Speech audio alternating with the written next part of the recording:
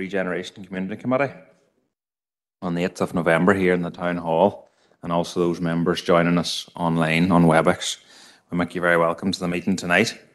Um, we're just going to go through the agenda as is, so we'll start with um, apologies. Um, Councillor Maguire, just bear with me, there's a new screen up here, so Councillor Maguire. Uh, uh, thank you, Chair. Uh, there's uh, three apologies from Sinn Féin Group tonight. Councillor Anne-Marie Fitzgerald, Councillor Stephen McCann and Councillor Sean Clark. And just an apology for lateness from Padraig Kelly. She should join us shortly. Thank Gormaga. you, thank you, Tommy. Um, Councillor Warrington, Uh, apologies from Councillor uh, Ray Crawford. Um, and I know that Councillor Irvine uh, and Councillor Armstrong are going to leave. Uh, although Councillor Irvine's not here, but Councillor, they're leaving early to go to a church service. Thank you. thank you, Councillor. Is Councillor Garrity on? Is there any apologies from the SDLP? Oh, sorry, John. Thanks, sorry, Chair. Um, apologies from Councillor Blake, Garrity and McPhillips, please. Thank you. And Councillor Errol Thompson? Thank you, Chair. Uh, Apologies from Councillor Keith Elliott, Councillor Paul Robinson and Councillor Paul Stevenson as they are attending the church service. Thank you, Councillor. Thank you. I think Councillor McPhillips is online. Kim, was that right? So, well, all right, thank you. Is there any other apologies, members? Okay. Thank you. Um, Councillor McAleer? Right, Chair, yeah, it's just in relation to both Councillor Coffey and Councillor Keenan, they're going to be a wee bit late joining the meeting, but they both hope to be. Thank you. Thank you. Apologies, Councillor Warrington, again, as ever. Just wanted to say, obviously, Councillor Blake um, lost his mother at the end of last week, so um, certainly from our group and uh, deepest uh, condolences to him. Yep, certainly. We're just going to have a, a moment of, um, we certainly do pass on our condolences to Councillor um, Blake on the loss of his mum. Um, Councillor Thompson?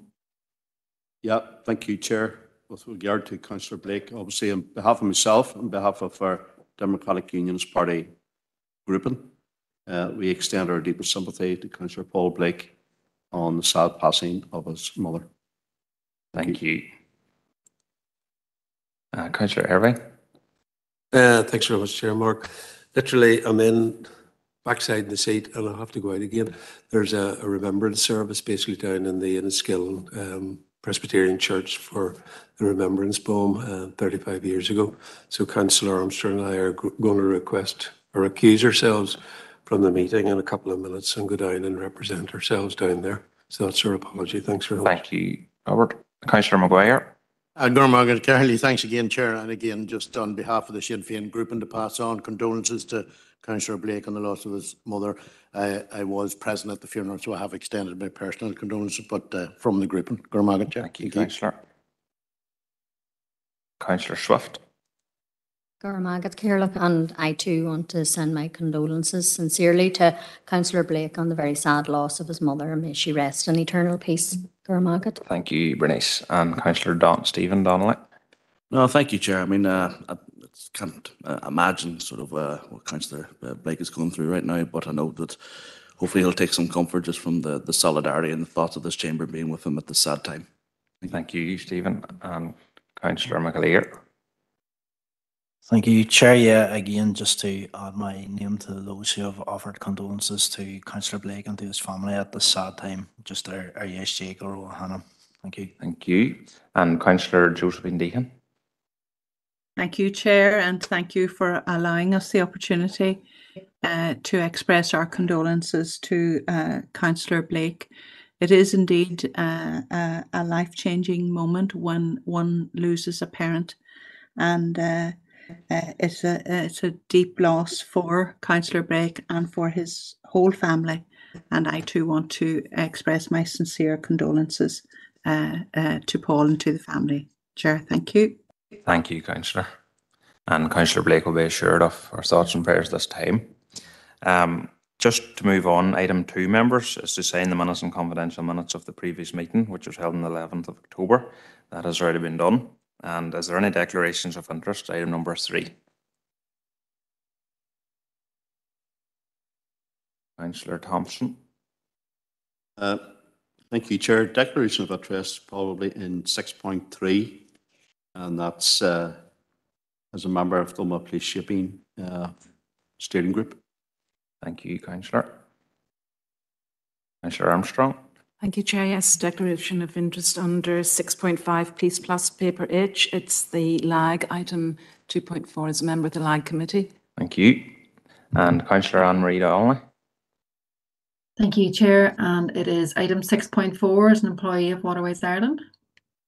Thank you. Thank you. And Councillor Deehan. Thank you, Chair. Item six point three, uh, Omagh Place Shaping. Thank you.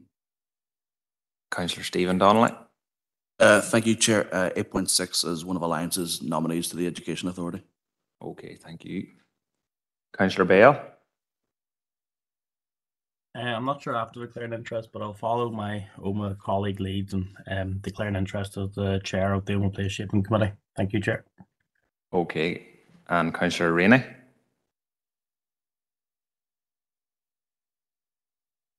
Five point one, Chair, events and festivals. Thank you, Al. And Councillor Baird. Thank you, Chair. Um, item five one, event strategy, and uh, six four, um, as a director from Anna Lakeland Tourism in relation to the visitor experience and non-pecuniary interest in both. Thank you. Thank you. Councillor, Councillor Thompson. Sorry about that, Chair. Uh, I think I need to declare an interest my colleagues have, so it's uh, 5.1, um, events and festivals. Give Thank you. Okay, members, we'll, we'll move ahead with that, and if there's any raise, just give us a shout. Bernice, I haven't forgot about you. I'll pencil you in at this point here. Go ahead. And it's just uh, on behalf of the council and uh, to let everybody know, in case you didn't already know, congratulations to Derrygonnelly Harps ladies who were victorious on Sunday at Healy Park, where they won their Ulster Intermediate title and brought that uh, smashing cup back to the village of Derrygonnelly. And they had an exceptional game with outstanding players and scorers alike. And uh, quite a few of the players are from my own town land, the captain included. So um, each and every one of the girls played amazingly and carefully umpired too, I might add, by our Ulster umpire Peter on the top panel, uh, who I actually didn't see on the day. But uh, very well done to the Derrygonnelly Harps ladies. And uh, they are now in the All Ireland series, and in two weeks' time, they play in London, the team over there, the Tower. Uh, so we wish them every success for that. I've already submitted uh, the suitable application for civic hospitality for them.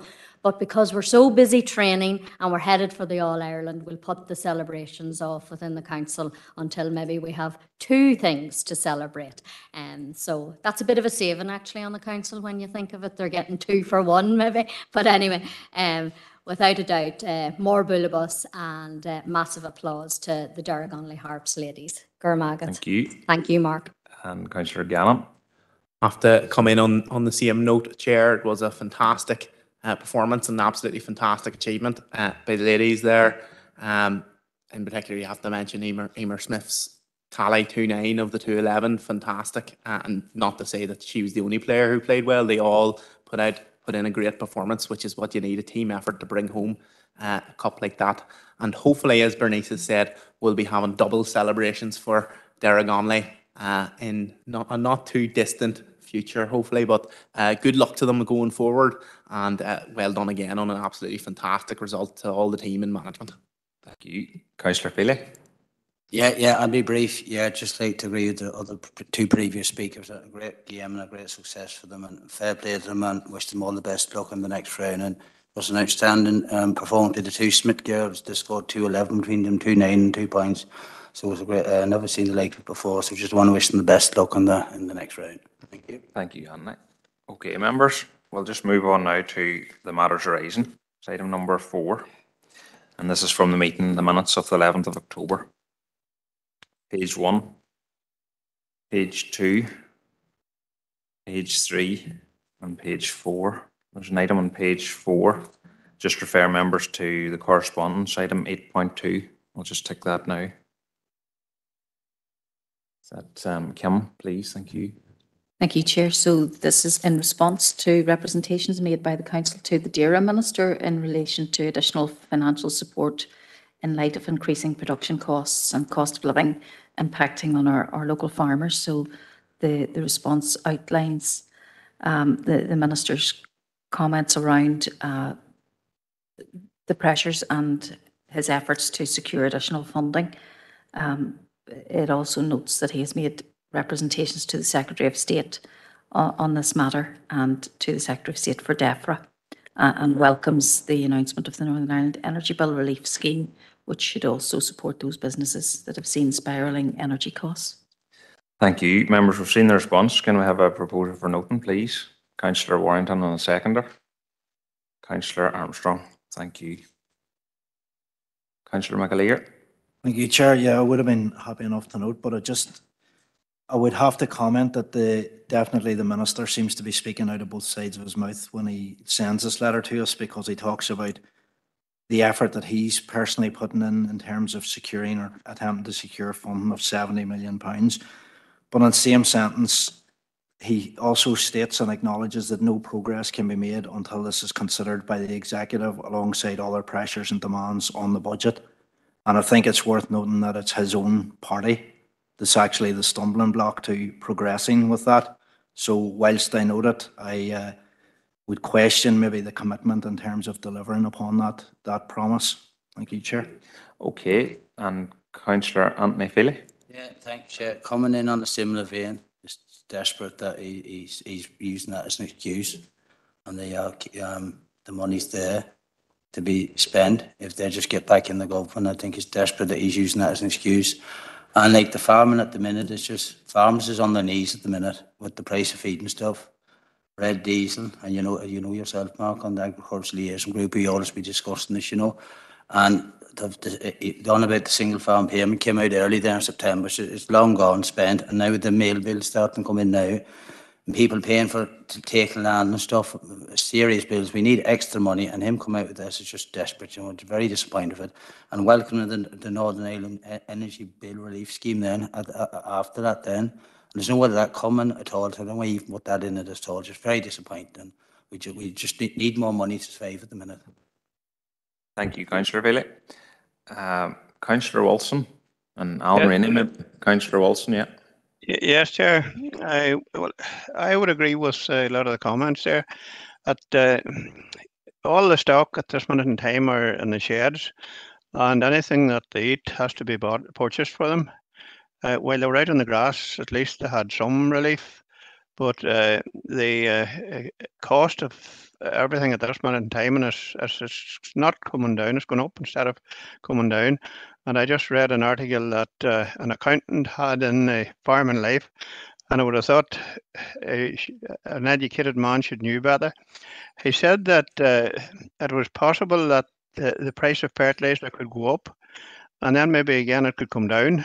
Well, you don't need to be a brain surgeon to know that it's got to be some of the two of them.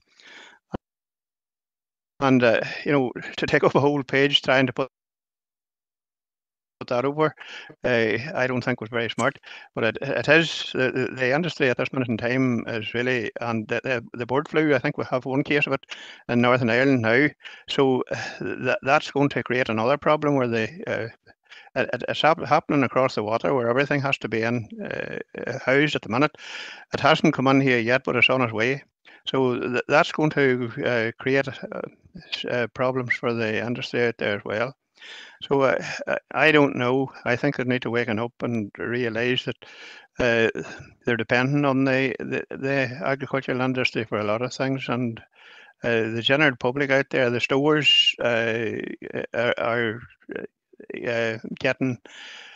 They'll be keeping a lot of stores going, and as, as uh, Anthony said there, the single farm payment was going long, long before uh, it, it arrived with the people. So uh, I don't think it's, uh, unfortunately, I I don't know. I'm sure some of the rest will keep it going, but uh, that's my honest opinion, and it's uh, that's a fact. Thank you. Thank you, Councillor Wilson. Councillor John Coyle. Thanks, uh, Chair. Um, no, this is uh, from the motion that I had brought, and uh, look, welcome what the minister said he's done, but um, still, the farming industry has been grappling with increased prices for you know a lot longer than um, you know this 2022, um, and we welcome that the single farm payment came in early this year. But he, does he realise that uh, you know small family farms, especially in Fermanagh and Omagh, um, the bill for my own fertilizer at home was uh, 75% of my single farm payment, which then left, uh, you know, the cost of red diesel increasing, cost of electricity, cost of meal, cost of, you know, uh, medicines going up. It just doesn't. It just doesn't make it financially viable for us. Uh, you know, trying to run a home on, uh, you know, on a shoestring and it is difficult. We we in the farming community keep a lot of businesses going, and it's just detrimental. But we something has to be done. Uh, we can't just uh, say, "Oh, we have to wait until an executive is formed." Uh, many farmers are struggling at the minute, and it needs to be sorted out ASAP. So, um, I don't know. I will keep my proposal maybe till December, uh, but uh, there is a proposal I might like to uh, propose when we know who to send a letter to. Thank you, councillor. Okay, members, that's been proposed and seconded for, for noting agreed. Thank you. Page five of the minutes, page six. Councillor Swift. I, sorry, Mark, it was at the bottom of page four. Oh, sorry, Vic. Yeah, and just to note the minutes of the broadband working group and j- just an aside that mobile signal still being an issue in some areas. And can I propose that the council get in touch with Vodafone? It is an issue that constituents have been uh, highlighting and complained about, and I've had the experience myself, so I know it's accurate. The main Enniskillen to Derrygonnelly Road, the B81, the Vodafone signal is lost and sporadic, to say the least. So that service provider is not providing the service that those mobile phone customers have uh, contracted to. So if the council can please uh, contact Vodafone to rectify that problem ASAP. Okay, Gurmagat. thank you. That's proposal. And councillor Feely. Happy to second. And seconded. Thank you. Councillor McAleer. Yeah, Chair, happy enough to support that one. I think it's an ongoing issue right across this district and only on my own DAF Tyrone, it's definitely an issue. And unfortunately, when we did have the meeting with Vodafone, we were kind of told and promised that there was going to be follow-up in terms of action from engineers. It's never materialised, but I know there are some planning applications in for new um, telephone masts, so hopefully that'll alleviate some of the problems. But I think the issue that exists where previously there was good signal and now it's disappeared is one that questions need to be asked about. Okay, councillor Anne Marie Donnelly. Thanks, Chair, and I just want to come in and support that. You'll know yourself, Mark, and Drumquin and the Dromore area, the signal is terrible as well with Vodafone. It's it's negligible what coverage is given. And I note um, Emmett's comments there about the applications and for masts or additional masts to improve the signal in the areas. So I just hope we can maybe get some feedback from Vodafone to, to advise us on the progress they're making. It's very slow. It's very poor in this day and age. People have little or no signal at home. Thank you. Okay, thank you. And councillor Barry McElduff.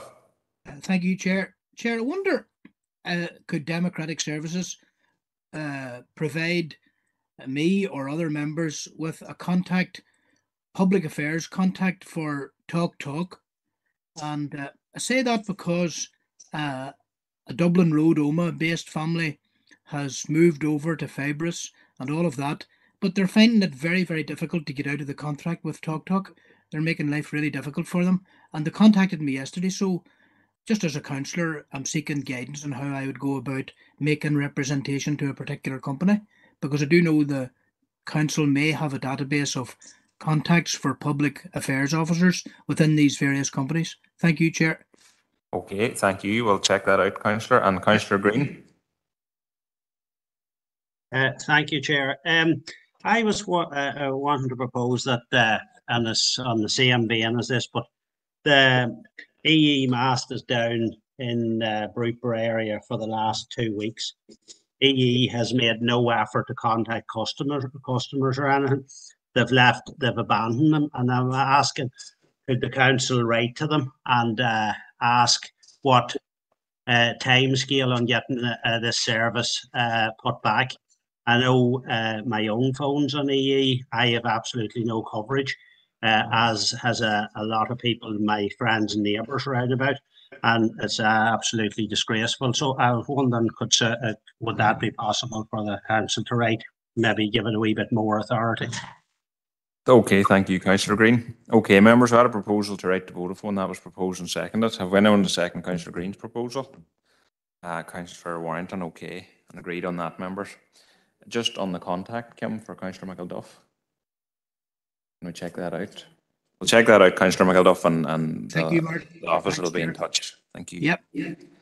Okay, members, page five. Page six. Page seven. And page eight. Page nine. Page ten. Page eleven. Was there an item on page eleven? It's in relation, members, to correspondence item eight point six.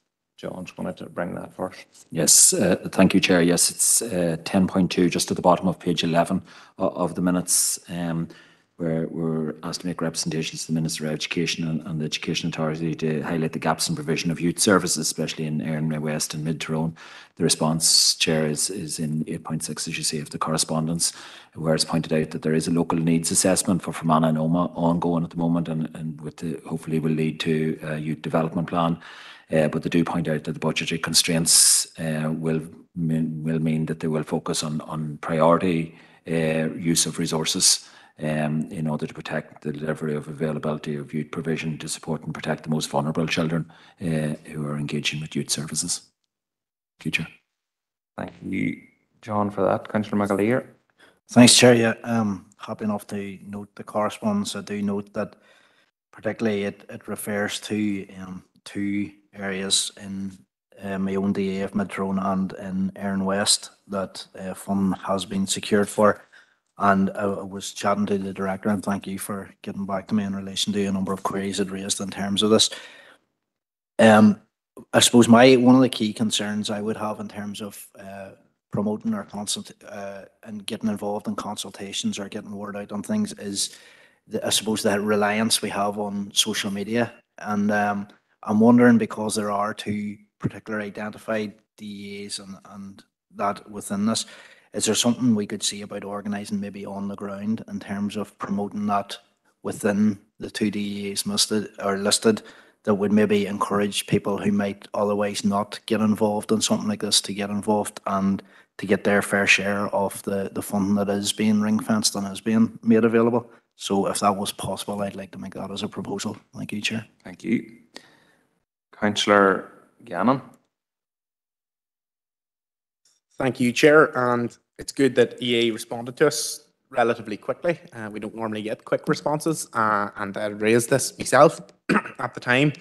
Um, I think the, main point of this was to highlight the, the issue to them, and they do uh, obviously recognise uh, the senior youth officer there, Ryan McGee, uh, who is doing fantastic work uh, for the district. Um, along the same lines as Councillor McAleer, um, in terms of promoting the ability to register with EA, um, obviously, if we if we have groups on record or on our database that we can contact just to say that this is available, if we can promote it on social media and through other methods, if possible, as Councillor Mc- McAleer has outlined, um, to encourage youth groups, not just in those areas, but across the district, because uh, it's it's an issue across the district, uh, to uh, register with the EA to be to get that eligible funding and the support that's there.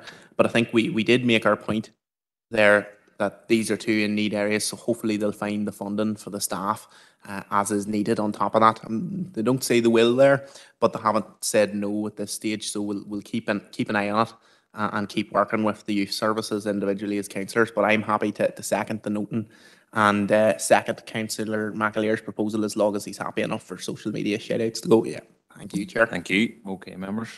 Councillor Green, was your hand up from before?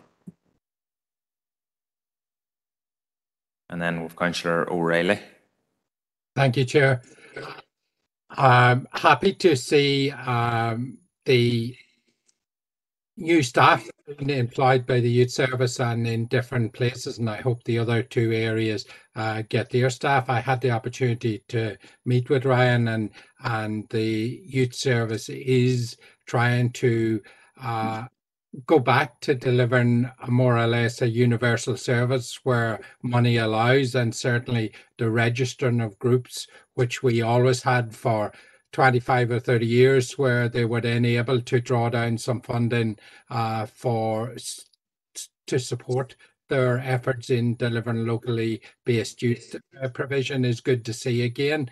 Um, can I just ask a little bit on the youth council, which I know has has sort of changed name and that, and a number of us were on that as liaison between the council and the youth service to be able to uh, have that joined up uh, process there of. Uh, at the very least, a communication feed both ways for young people to actually be able to engage directly with the council.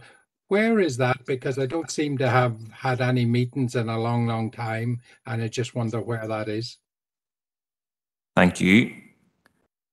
Uh, John- John? Chair, uh, yes, I I can certainly come back to, to councillor O'Reilly in relation to it. My understanding of the youth council is that it did fall into difficulties, and I think COVID was one of those difficulties in, in, in meeting, and I don't think it has ever properly established again, but we can certainly have conversations with the, with the Education Authority to see where it's at in order to get it re-established uh, again, see what we can do, and I can, I can report back. Thank you. Happy enough, thank you. And councillor McElduff?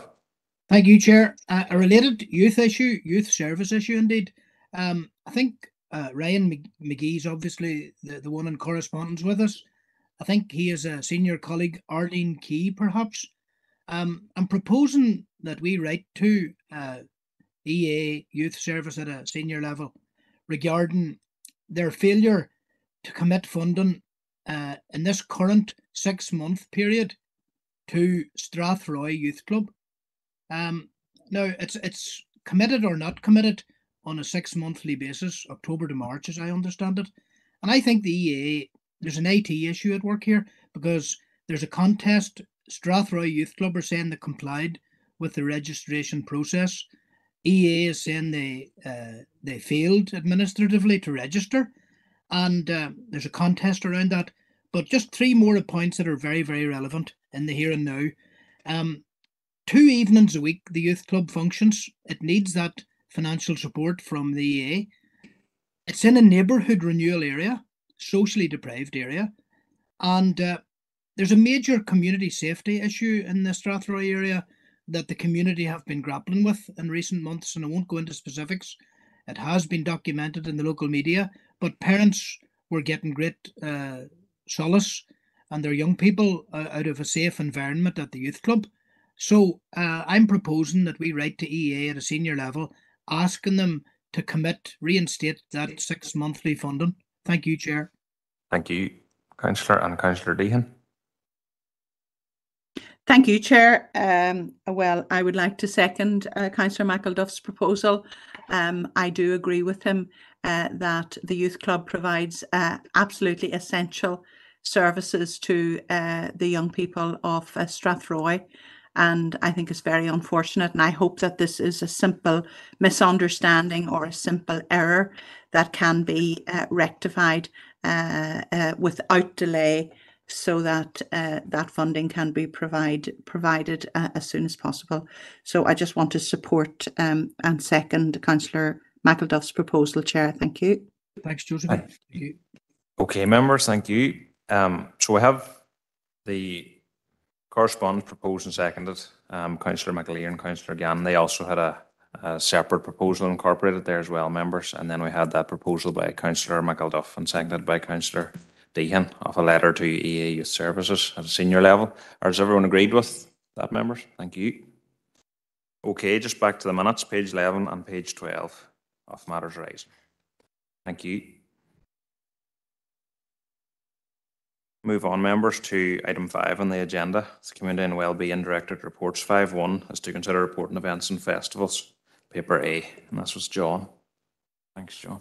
Thank you, Chair. Uh, Yeah, Chair, it's, uh, the report is to to provide members with uh, an update on the event strategy working group, um, which was held on the 12th of September. Normally, these, this report would go to the October meeting, but uh, I think uh, given the financial crisis uh, and what was happening, the discussions that were taking place, it was decided to hold off on, on reporting that this until the un, until this meeting in, in November. Uh, it's also to seek approval for recommendations from the final call for sponsorship um, and to note the expression of interest to trade at corporate events for uh, uh, in, in Green Year Festival initiative. Um, the, the minutes of the event strategy working group is included at, at Appendix uh, 1. Uh, in relation to, to sponsorship the, and the final call of sponsorship, which had a closing date at the 4th of September, those were uh, assessed at the event strategy uh, working group and, and, and the recommendations are included in Appendix 2. Um, just in, in, relation, there were a number of groups because of the time delay between our last meeting in July and September, um, a number of groups received letters of, of offer for, for sponsorship for events which were taking place prior to tonight's meeting, um, and those were offered to, to run at risk, which they agreed to do so, uh, subject to approval for tonight. There is one application from the Erne Vintage uh, Classic Show, which is considered ineligible um, because we have a very strict uh, policy uh, which says that all publicity materials for the event states this, that admission receipts uh, and all other publicity should not support a charity. Uh, and uh, the, the Vintage Classic uh, show very clearly was uh, stated that all of the support was in aid of the of the Air Ambulance Northern Ireland charity, and, and therefore it's unfortunate that that the council can't provide sponsorship uh, for for that event. Um, there, there were a number of uh, calls for submission of expression of interest for Culture Night uh, in July and August. Uh, 15 groups applied, each received £250, a total sponsorship of 3,750. Uh, and uh, you will see there 2.2.6 that uh, recommendations for all of the other sponsorship are included in, in Appendix 2. The, the, the draft which was uploaded uh, to decision time for members was uh, incorrect. The proper the proper submission is included there at, on decision time uh, tonight uh, again, and, and, that was an administrative error more more than anything else. Uh, 2.3 of the report gives an, an, overview just of the the corporate events uh, which will effectively, for Halloween and for Christmas, effectively forms part of the budgetary uh, considerations, which are really for discussion at uh, P&R tomorrow night. Uh, the Green Year, Green Year Festival initiative, uh, it's proposed that it will be introduced for traders who wish to trade at corporate events um, and therefore, traders need to demonstrate the sustainability credentials of, of their products that they sell, how they recycle, how they dispose of waste, and so on. Uh, and, and need to make sure that all of that is done in a very sustainable manner and environmentally fr- friendly manner for those that are, are those uh, that, that we sponsor. Uh, and finally, the event strategy. There was an update at the event strategy working group in relation to uh, the, the strategy itself. Um, so, Chair, it's recommended that the Council notes the draft minutes and actions and recommendations of the Event Strategy Working Group of the 12th of September, approves the recommendations for support of the Corporate Sponsorship 22-23 model for third-party organised events, notes the expression of interest to trade at corporate events and Green Year Festival initiative, and notes the update and actions of the event strategy of the events and festival strategy. Thank you, Chair. Thank you, John. Councillor Stephen Donnelly. Uh, thank you, Chair. It's uh, already mentioned in the minutes, but just to be safe, um, just need to declare an interest as a member of the Golden Apple players who are recommended for funding under this report. Thank you, Stephen. Councillor Adam Gannon. Thank you, Chair. Um, obviously, uh, I'm happy to propose uh, the report there as as outlined. Um, it's good to see. Uh, kind of linked to this is obviously we're, we're providing financial support for sponsorship and things like that.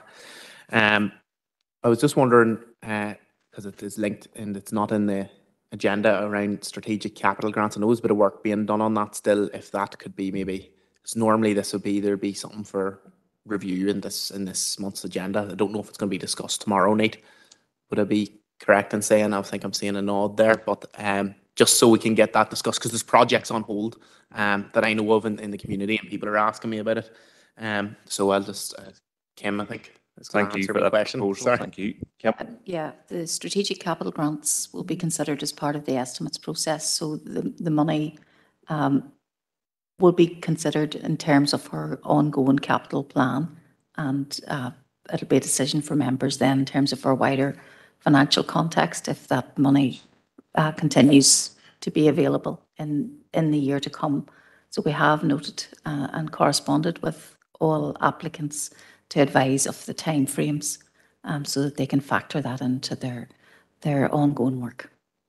Thank you. Okay, members, have we just a seconder for the, um, for the report before us? Councillor Warrington, happy to second. Are we all agreed, members? Okay, thank you. I think Councillor Green, maybe his hand was up from before, but we'll just check that again. Okay. Five point two members is to consider a report on regulation of cosmetic treatments in Northern Ireland, paper B. Thanks, thanks, Chair. Yes, the Council have uh, received a request from the local authority Health and Safety Liaison Group uh, to ask them to, to ask the Council to write to the Department of Health to seek better regulation of cosmetic treatments in, in, in Northern Ireland. Um, in October 21, the botulinum uh, toxin and cosmetics fillers Children's Act 2021 is quite a mouthful. Uh, came into force in England, making it illegal uh, to administer Botox or, or filler by any way of injection for cosmetic purpose uh, for persons under the age of 18. There, there is no such law in, in Northern Ireland here. Uh, and further to that, the UK government recently confirmed its intention to, to introduce licensing regime for non-surgical cosmetic procedures in England um, through an amendment to the Health and Care Bill. And again, there is no such uh, in, planned introduction of any licensing regime uh, here. In, in recent years, there has been a significant increase in, in, in the number of non-surgical procedures um, and, and the lack of regulation, I suppose, in, in a sense, is, is slightly worrying. Uh, and many practitioners are performing treatments without being able to evidence the appropriate training or accreditation to the standards that may be required for, for, for such treatment.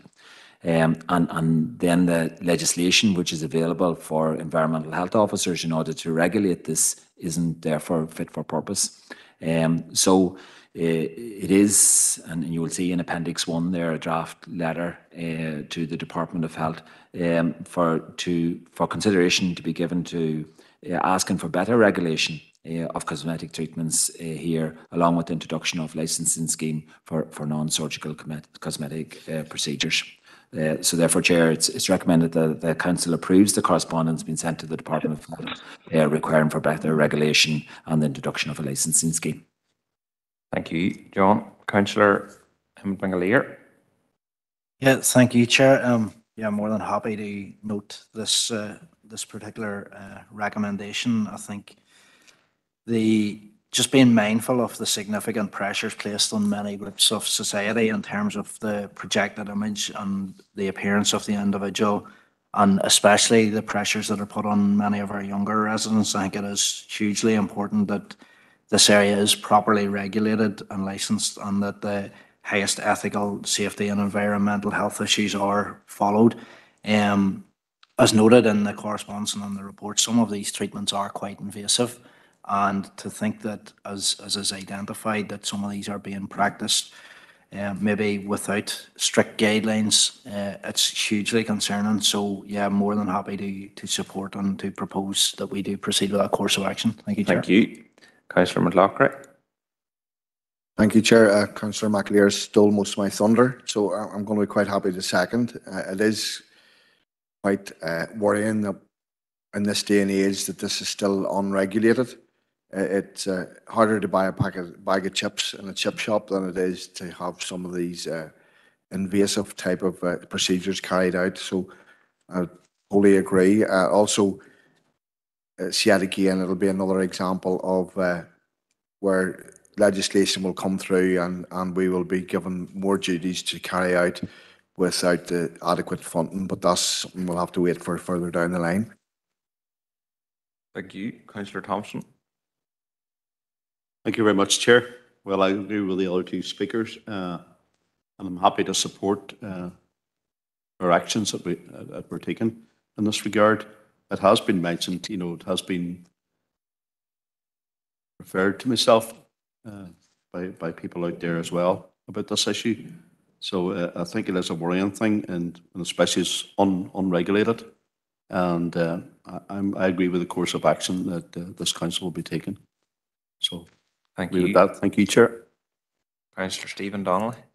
Yeah, no, thank you, Chair. I mean, um, this does touch on something that I, I have been worried about because I think that there has been a substantial and worrying rise, actually, um, particularly, I mean, I've noticed in lip filler treatments, um, just in wider society over the last number of years, and in particular, just on Instagram. I mean, the widespread popularization and spread of it through influencers and other public figures is worrying in the context of environments like ours where there is that lax regulatory framework or that uh, lax amount of guidance. So I think that the, this recommendation is an important one that we should explore and put forward. So more than happy just to lend my support. Thank you.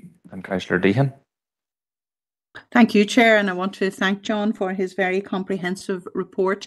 Uh, Chair, I couldn't agree more with uh, everything that is uh, detailed in this report.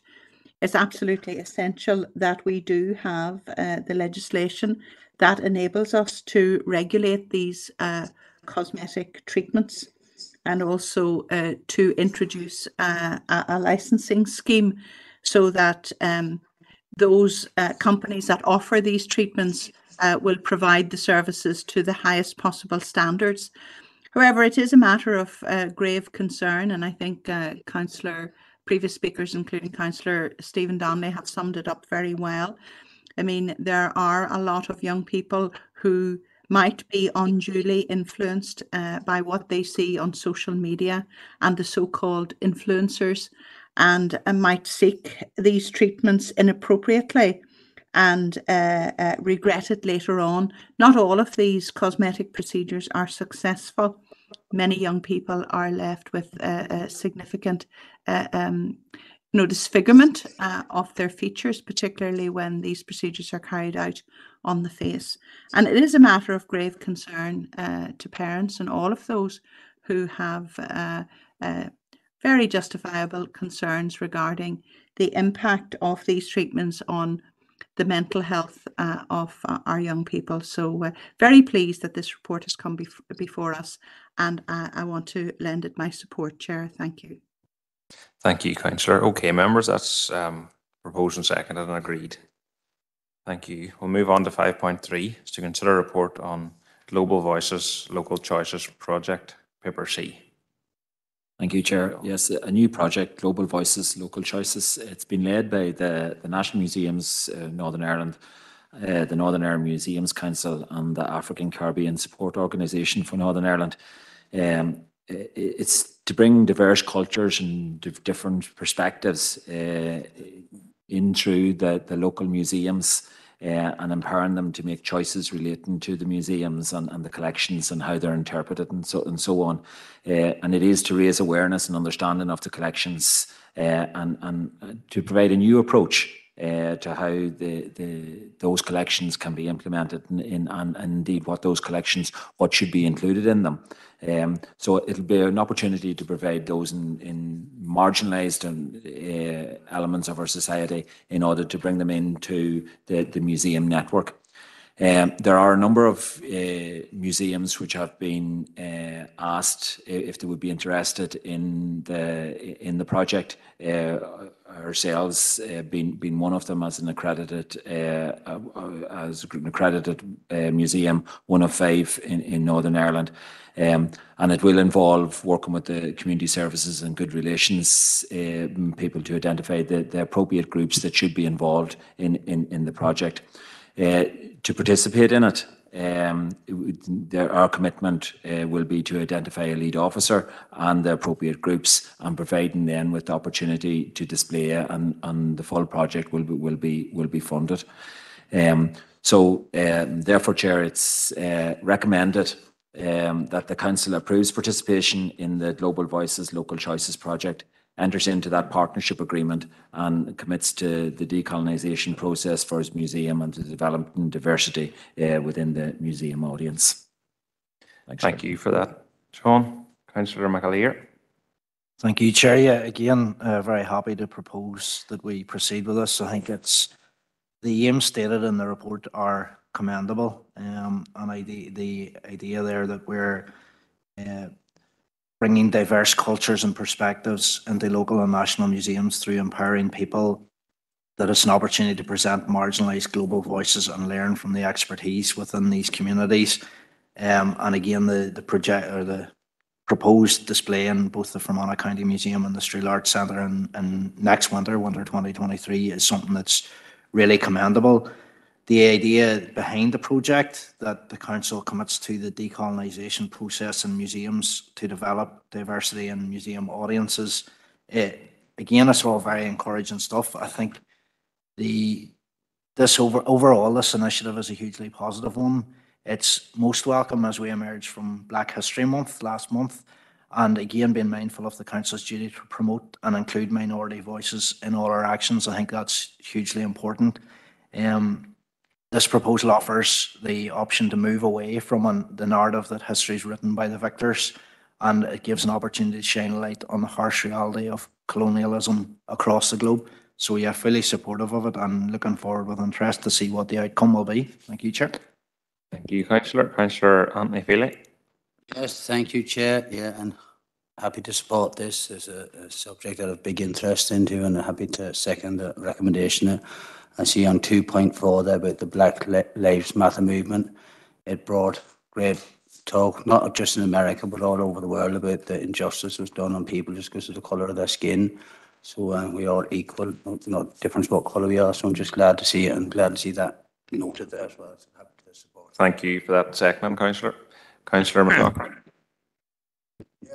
This is a, a massive piece of work uh, for the museums, and, and it's good to see it coming forward. It opens up a, a gateway for for many more people within our communities to engage with the museum and and all the history that's there.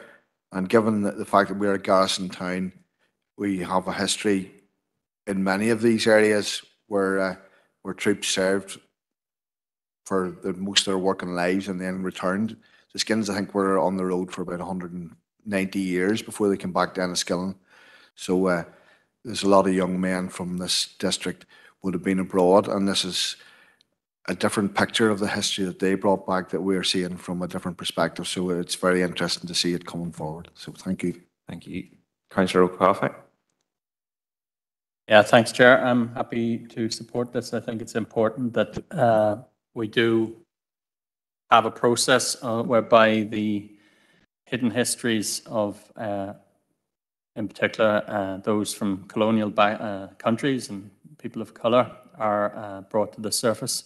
Um, too too long, we've had an you, you know a Eurocentric or no doubt an imperialist um, history of the past and this has largely excluded many people and the majority of the humanity, as it, as it turns out.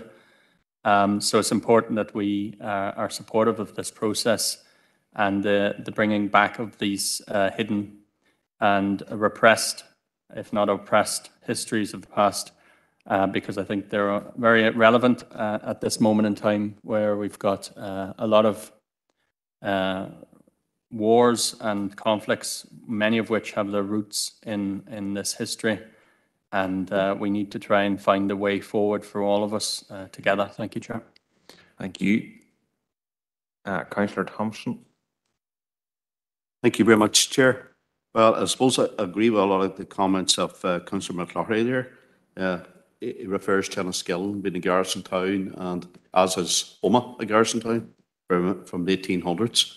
So there's many people have passed through, uh, especially St Lucia Barracks, and also the old Lisnelly Barracks when it was there, now the, the Strule campus site.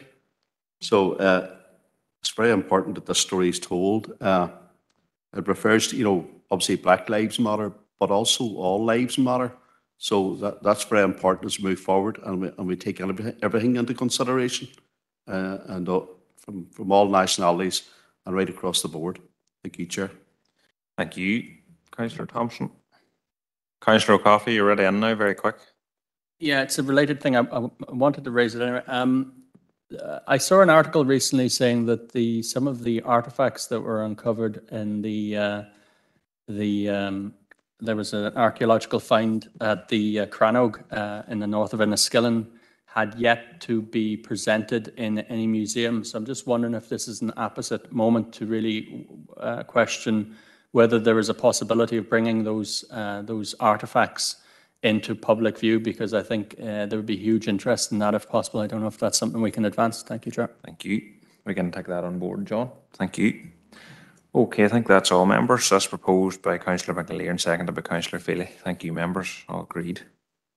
Move on now. Members, item six is the Regeneration Planning Directorate reports. Six point one is to consider the draft response to the Department for Infrastructure regarding the consultation on the transboundary application of Fincashel Donegal Road, Pettigo.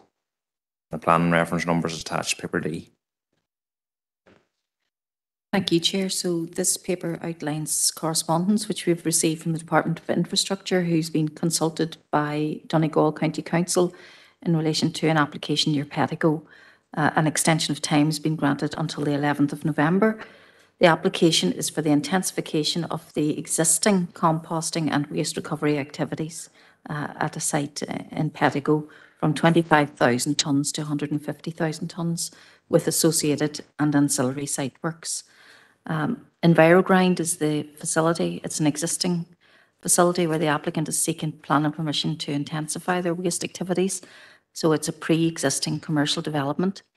It's recommended that the council responds to the consultation advising that subject to careful consideration of all of the outstanding consultation responses and impacts uh, that uh, particularly from the Fermanagh and Omagh District Council area and the conditioning of any mitigation where necessary that the council has no objections to the proposal.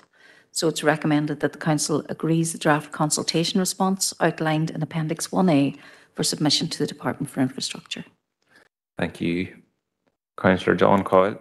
Thank you, Chair, um, and thanks, Kim, for the uh, synopsis. Um, I would be happy to propose uh, to send this response to the department. Uh, I think it's uh, well worded from the planning department and uh, uh, benefit to, um, I know it's a family-run business, so uh, it's good to support. Thank you. Thank you. Councillor John McLaughlin.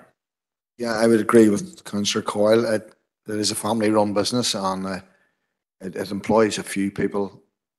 I, I know it, it's into the tens of people that they employ down there, and, and it's both sides of the border. It's, it's, it's literally a mile into Donegal, just to the other side of the village of Pettigo. I passed it quite a few times, and it's been interesting to see the site growing over the years. So with with the, the that well worded report considerations by the planning, uh, if that could be forward, I think that it would be agreeable to see that going ahead. You happy to second that? Second, yeah. Thank you. Councillor McAleer. Thank you, Chair. Yeah, um, I suppose I, unlike the previous two speakers, I would have a, a few reservations about this. Um, I don't think anybody here is going to have any issue with, with composting. Um, but the waste recovery activity is something that I would have a concern with. The increase that's uh, noted in this from 25,000 to 150,000 tonnes, a 600% increase in the scale of operations would be very concerning. The boundary of the proposed site within one kilometre of the Fermanagh District Council, Council area close to Lower Lough Erne is something that would certainly raise uh, question marks with, with myself. In the report, page two, we talk about residential amenity. It's hugely important for residents local to the site that any activity associated with this, as noted in the report, has the potential to have a detrimental impact upon their, their amenity, uh, including uh, traffic, noise, dust, vibration, and general disturbance. And on natural history, I note, I note the comment that within the council response that DAERA will take the lead on issues in relation to natural heritage. However, their comments are not yet available. So without sight of those comments, I would be very reticent to pass this without any objection. I think if we're saying we have no objection to or we're supportive of something without access to all the information, we're certainly in a, in a very dangerous situation there. So I would be proposing that we actually either hold fire until we do have access to the relevant information or that we don't say we have no objection to this because I don't see how we can have no objection to it without access to the full detail. Thank you, Chair. Thank you. And Councillor O'Cofaigh?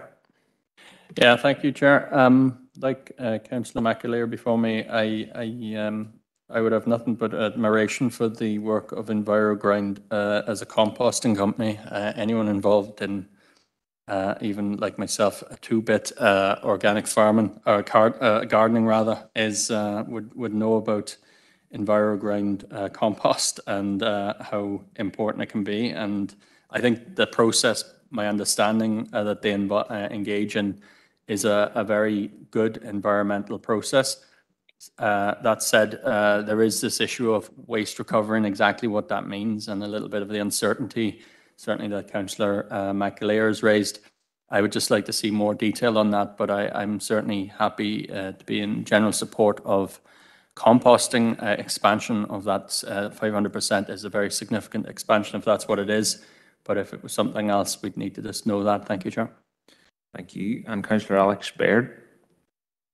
Yeah, thank you, Chair. Um, happy enough with the original proposal and seconding, but I'm just wondering, uh, as an aside issue of this, I understand that there are some councils in Northern Ireland who, at their recycling centres, actually engage in the composting process themselves. Now, they may sell the, proce- the product or they may give it away. I'm just wondering, when you take in the cost and the carbon footprint there is of delivering the raw materials to this process, and again, being the neoliberal that I am, I wouldn't want to put any impediment away in, in uh, a private company uh, being successful.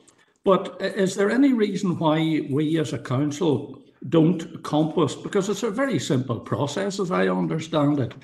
Why we don't compost our, our, our waste and uh, reduce the carbon footprint uh, of delivery to uh, the recycling process? Thank you. you. Councillor Baird? An answer for that? Well, I, I can't comment on, on whether we compost or not, um, but I can certainly ask that our, our waste service would bring a report back uh, to clarify that as an issue. In terms of some of the other comments, uh, just in terms of residential amenity or report notes, the assessments carried out, and there is a sufficient buffer to third-party properties to avoid adverse impact from dust, odour, noise, etc. Um, the, the response also notes that a series of mitigation measures have been prepared and outlined within the environmental impact assessment, and we are recommending that Donegal would secure those uh, mitigation measures by condition uh, in terms of the um, the overall response uh, and and the the assessment of the of the application. Um, we, we've also recommended that while we haven't seen DAERA's response, that, that Donegal County Council would ensure that those comments, when received, are carefully considered and appropriate mitigation included where, where necessary. Okay, members, we do have a proposal by Councillor John Coyle, seconded by Councillor John McLaughlin, um, that we go with the recommendation as is. Um, are we all agreed? Uh, okay, and then, well, we have uh, dissent there. Councillor McAleer, would you be happy to, that, that that goes through with your um, hesitation noted on that until the information? Or do we need to take it to a vote at this? Chair, uh, obviously, I won't, if I'm objecting to it, I'm not going to be happy that it's proceeding, but I, I would like my objection to be noted. To be yes, noted, thank you. certainly. That's, that's what I was gathering. Okay, Councillor O'Cofaigh? Can I ask just uh, that, that wording that I, I requested information on, that waste um, recovery, what does that actually mean?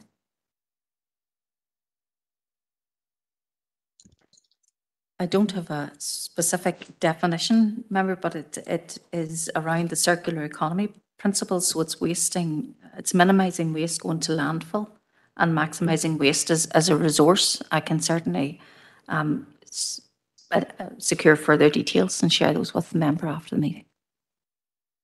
Okay, thank you for that, Kim. Okay, members, thank you. We'll Move on to six point two. um, is to consider the draft response to the consultation from Derry City and Strabane District Council regarding Altgolden One Farm. And the plan and reference numbers there, members, as well, paper E.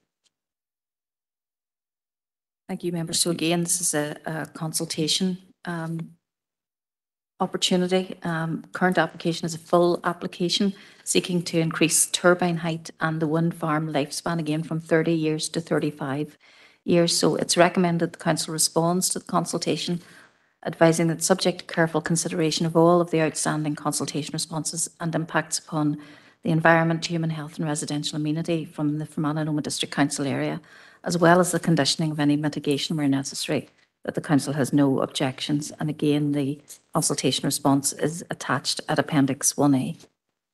Thank you, members. We've had sight of that response. Councillor McAleer. Thank you, Chair. Um, I'd like to just take a different route again. I think we shouldn't be supporting this. I'd actually express serious concern about the proposal to recommend planning approval as outlined in the documentation, documentation in front of us. Um, just, I think it's worth noting that the application coming forward at this time is significantly different and very significantly different from that uh, which was submitted in 2006 or indeed uh, that the, was proposed by the PAC decision. Furthermore, additional information has come forward alerting this council to serious environmental issues impacting this type of proposal in the same borderland of Tyrone and Donegal. Uh, in light of all the information now available, I would actually say it would be reckless, in my opinion, for this council to recommend in favour of the application. Furthermore, in the absence of full consideration of all the consultation responses, a number of which had not been received when this recommendation was drafted, it's imperative that FODC actually recommend refusal. Again, very quickly going through the reports, we're extending this to a 35-year lifetime. We're proposing to extend it to a 35-year lifetime, increasing the, the height of these turbines to 149.99 metres. And thanks to the director, I was uh, again in contact with in, in relation to this. I was wondering what the significance of that was, um, other than, I suppose, 150 metres being noted as a huge, like a large turbine. There, there doesn't seem to be implications, but I'm, I'm very concerned by that. And again, looking through the, the actual application that's noted as one of the attachments, I, I have serious concerns about the history of this application, noting the number of requests to vary previously agreed conditions after planning had been granted, notably around uh, ornithological mitigation strategy and ornithological management and mo monitoring, uh, as well as the, the number and the height of these turbines.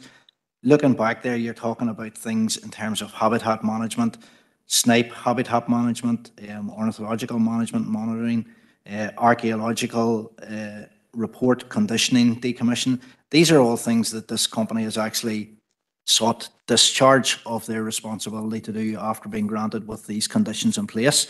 So with all of those noted, uh, as well as, I suppose, Appendix 1A noting that on page two, a wind farm on this site of this scale and magnitude proposed will present a very significant change to the landscape when, construct, when constructed.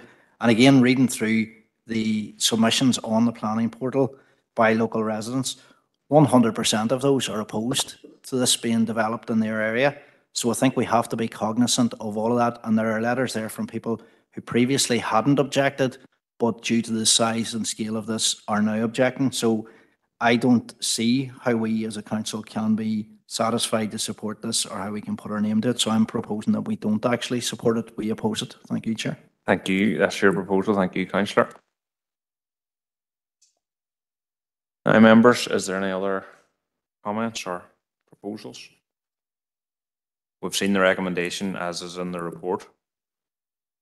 And you've heard councillor McAleer's proposal. Councillor O'Cofaigh. Yeah, Councillor, uh, I'm just happy to support that proposal. I, I think um, Councillor McAleer has made a very cogent case there. I think uh, that uh, we should be a little careful on all of this, and I know that many members have um, raised concerns around intensive development of wind turbines and issues around um, the heights and so on. And I'm sure uh, we need to be consistent in this approach. So I'd happy to second that, Chair. Thank you. Thank you. Uh, Kim, would you like a comment? Sorry, at this point. Thank you. Yeah, yes, Chair. Um, I suppose just firstly to note that the application has been supported by an environmental impact assessment, which um, Derry City and Strabane Council will give consideration to in their assessment of the application. Um, just to note that in terms of the application itself, it's to note that the location of the wind turbines has been slightly amended to that which has been previously consented, um, but there are other associated site works.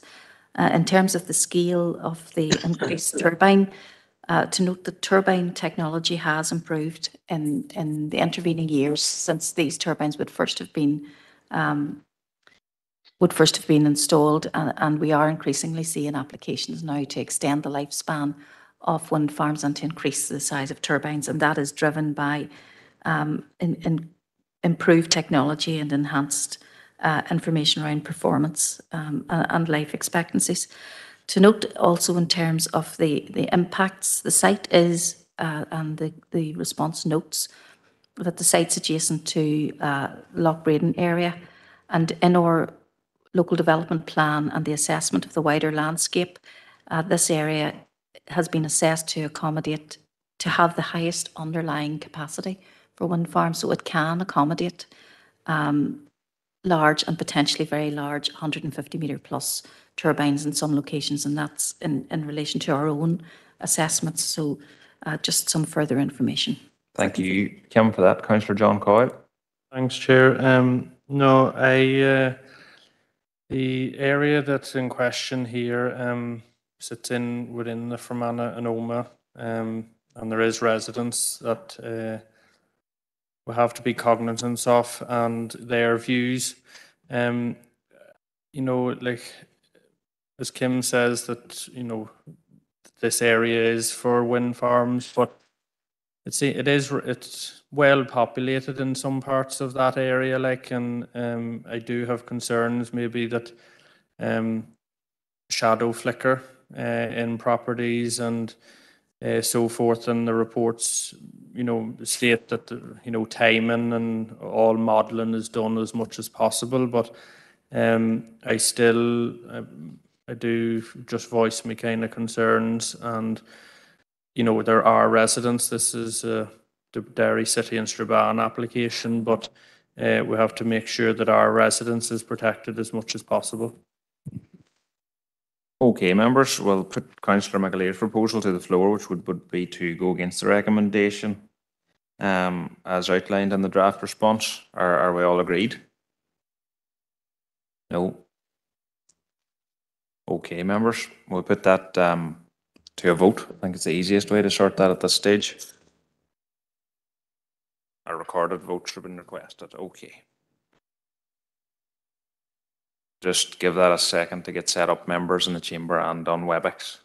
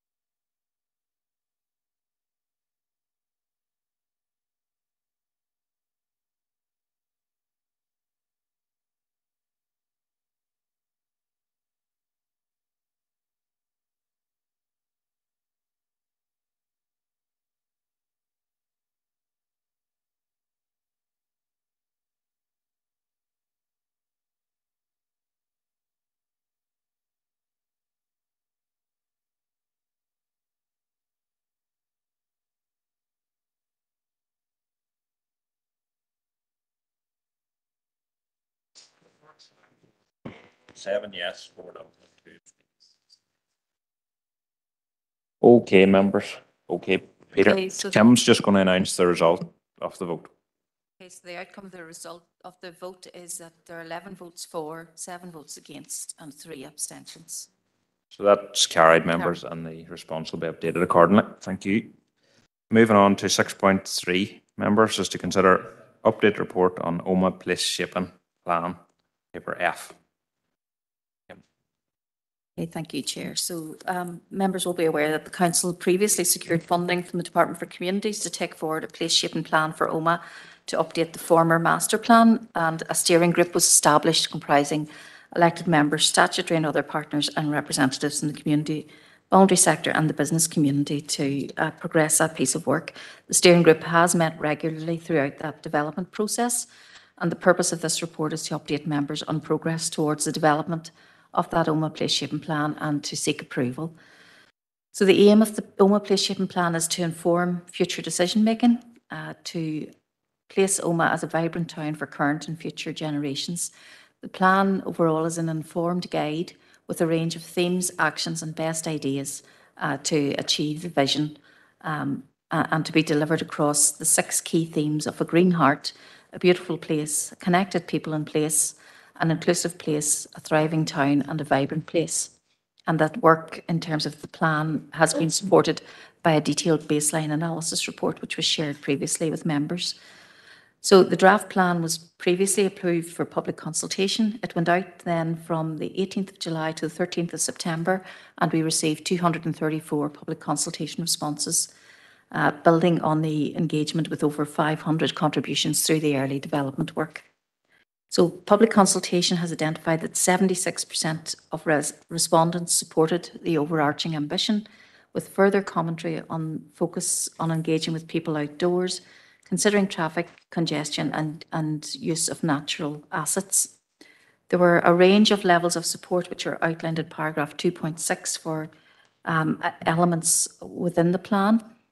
Uh, and some areas where lower levels of support were identified, and these were in relation to areas which are often um, contentious around opportunities perhaps to trial uh, pedestrianisation and um, people first places. So a, a more detailed overview of the consultation findings is attached to Appendix 1 to the report, together with an overview of uh, minor changes to the draft plan. The Omagh Place Shaping Steering Group met on Tuesday, 25th of October, and at that meeting, the steering group um, unanimously approved the final version of the Omagh Place Shaping Plan, which is attached at Appendix 2. A further meeting has now been scheduled to consider how to take forward the delivery of the plan and the arrangements for ongoing management, and also to conduct an evaluation of the process to develop the plan to inf- inform future work on place shaping. In terms of the implications, each project within the plan will be further scoped in terms of feasibility and cost appraisal, including the identification of external funding opportunities and scope for partner contributions. And individual approval will be sought through council for each of the projects as we bring it forward. Um, There are no additional resourcing requirements identified at this time. So it's recommended that the final version of the Omagh Place Shaping Plan is approved and that a further report then is provided to outline the proposed arrangements for management and delivery of the plan following further engagement with the Omagh Place Shaping Steering Group. Thank you very much, Kim. Councillor Stephen Donnelly. Uh, Thank you very much, Chair, and uh, can I say uh, thank you to Kim and indeed all the uh, officers and indeed the key stakeholders who played a huge amount of work uh, in actually bringing this uh, to fruition here. Uh, There's been a significant amount of work invested and evidence gathered uh, and indeed conversations about what we want Omagh to look like in the future. And it's been useful to kind of go back to basics and actually start thinking about ambitious ideas for what we want the town to look like within the next 10 years. And I suppose the key thing that I think people in Omagh want to be said is that we don't just want another document that's going to sit on the shelf. We want something that is live and breathing and is going to make a tangible difference to the lives of the people that we represent in Omagh. And that's actually going to make a strong contribution to making this mission statement a reality that Omagh will become an increasingly vibrant, healthy, attractive, and inclusive town, a reimagined and animated green heart for the district, enhanced by progressive regeneration and revitalisation in tandem with enhanced connectivity. Just uh, want to touch on one thing that while the report refers to lower levels of support for certain proposals, I think that it is fair to say that actually all the proposals and themes that went out to consultation did, I think, receive support from the majority of feedback, although some were uh, more controversial than others. But I think some issues such as uh, faith pedestrianisation, I think that there was uh, a broad view that uh, with additional clarity and explanation and teasing out of the detail of what that would look like in practice, that actually we would be able to secure even broader uh, community backing for the implementation of such ideas. But that's something to be ironed out uh, in future. But on the whole, the place shaping plan does represent an ambitious and detailed bedrock of ideas to make Omagh more prosperous, connected, happier, and sustainable. And it seems to me that passing this tonight must be regarded as the start of a journey and certainly not a conclusion, because ultimately we have this bedrock of ideas. We have a lot of ambition. We have a lot of creativity here, but ultimately we need to ensure that statutory partners, government ministers, whenever they come back uh, to their place, are ultimately engaged with actually making these ideas a reality in terms of support, in terms of finance, and in t- terms of making sure that we can make these ideas a reality. So, Chair, there's a huge amount of ambition here, and I think that if we can uh, make it a reality, we can bring greater opportunities to Omagh and enhance its position as the county town of Tyrone. And on that basis, I'm more than happy to propose the, the recommendations. Thank you, Councillor. Councillor McElduff. Okay, thank you, Chair. Chair, can I second the adoption of the report? And uh, just ask Kim for, you know, clarity around the future of the steering group. Has it one more meeting left? Is it a long-term structure? And is there any barriers till reconstituting or meeting again, you know, in, in the context of the Omagh Town Centre Forum? Thank you, Chair. Thank you. Thank you, Chair. Um, well, there'll certainly be one more meeting of the steering group. Um, I suppose it depends on progress. We, we do need to have a discussion then about how we do take the, the plan forward. What is the appropriate structure for us to do that? Uh, and also we want to do an evaluation of, of the process uh, and pick up any learning from that and, uh, and get the feedback from those involved in the process in terms of how they found it. So at least one more, but at least one more meeting, but possibly, um, you know, a, a couple until we, we scope out that piece of work and are in a position to bring a report back to council. Um, I, I think part of the consideration, Chair, would be would that would a new vehicle to take this plan forward replace or uh, subsume the Omagh Town Centre Forum? I think that's part of the discussion that we need to have. So uh, I suppose I wouldn't make any further comment on it at this stage, other than uh, that needs to be part of the part of the conversation. Thank you, Kim, for that clarity. Okay, members, that's proposed and seconded. Thank you. Um, 6.4 is to consider update report on draft visitor experience development plan. Paper G. Thank you, Chair. So uh, again, at the July committee meeting, members approved the draft visitor experience development plan for Fermanagh Lakelands and for and the Sperrins and agreed the arrangements for public consultation, alongside agreeing that we would conduct a review of tourism governance and delivery options alongside that public consultation process. So the purpose of this report is to update members on, on the outcome of public consultation and to seek approval of the final VDP uh, following consideration of that feedback. I also want to update members on the timeline in respect of tourism governance and delivery options. So the draft VDP is a 10-year strategic plan. It's been jointly funded by Council, Tourism NI and by Waterways Ireland. It sets our strategic vision uh, for delivering an authentic, sustainable, regenerative and ambitious tourism plan for, for the district, uh, taking account of the two key visitor propositions of Fermanagh Lakelands and Omagh and the Sperrins. Um, so in terms of the 12-week public consultation, uh, a detailed public consultation report is attached as Appendix 1 to this report. We conducted that over 12 weeks and uh, that encompassed a wide range of activity, including online stakeholder engagement events, in-person industry briefing events, uh, an online industry briefing event, four drop-in information sessions in Enniskillen and Omagh, a range of information stands at council venues, and an online survey. We had a total attendance of over 90 at that range of events, and then a, uh, an additional 131 survey responses submitted. Uh, and again, that followed on from significant engagement during the development process when we engaged with a wide range of stakeholders. So at 213, I've outlined uh, of the survey responses, the extent of um, re- response, positive response in relation to the questions asked. And members will note that there was overwhelming support for the direction of the Visitor Experience Development Plan with 93% in favour um, and high levels of support across all uh, of the questions um, and areas that we consulted upon. So both quantitative and qualitative feedback is, is outlined in the public consultation report. It's proposed that a number of minor amendments are made to the draft VEDP to finalise the document and that we work to make it publicly available as soon as possible. So some proposed amendments or the proposed amendments are outlined in paragraph 2.1 215, which uh, includes updating the VDP vision to include the words to, to reference businesses and also to reference inclusive growth.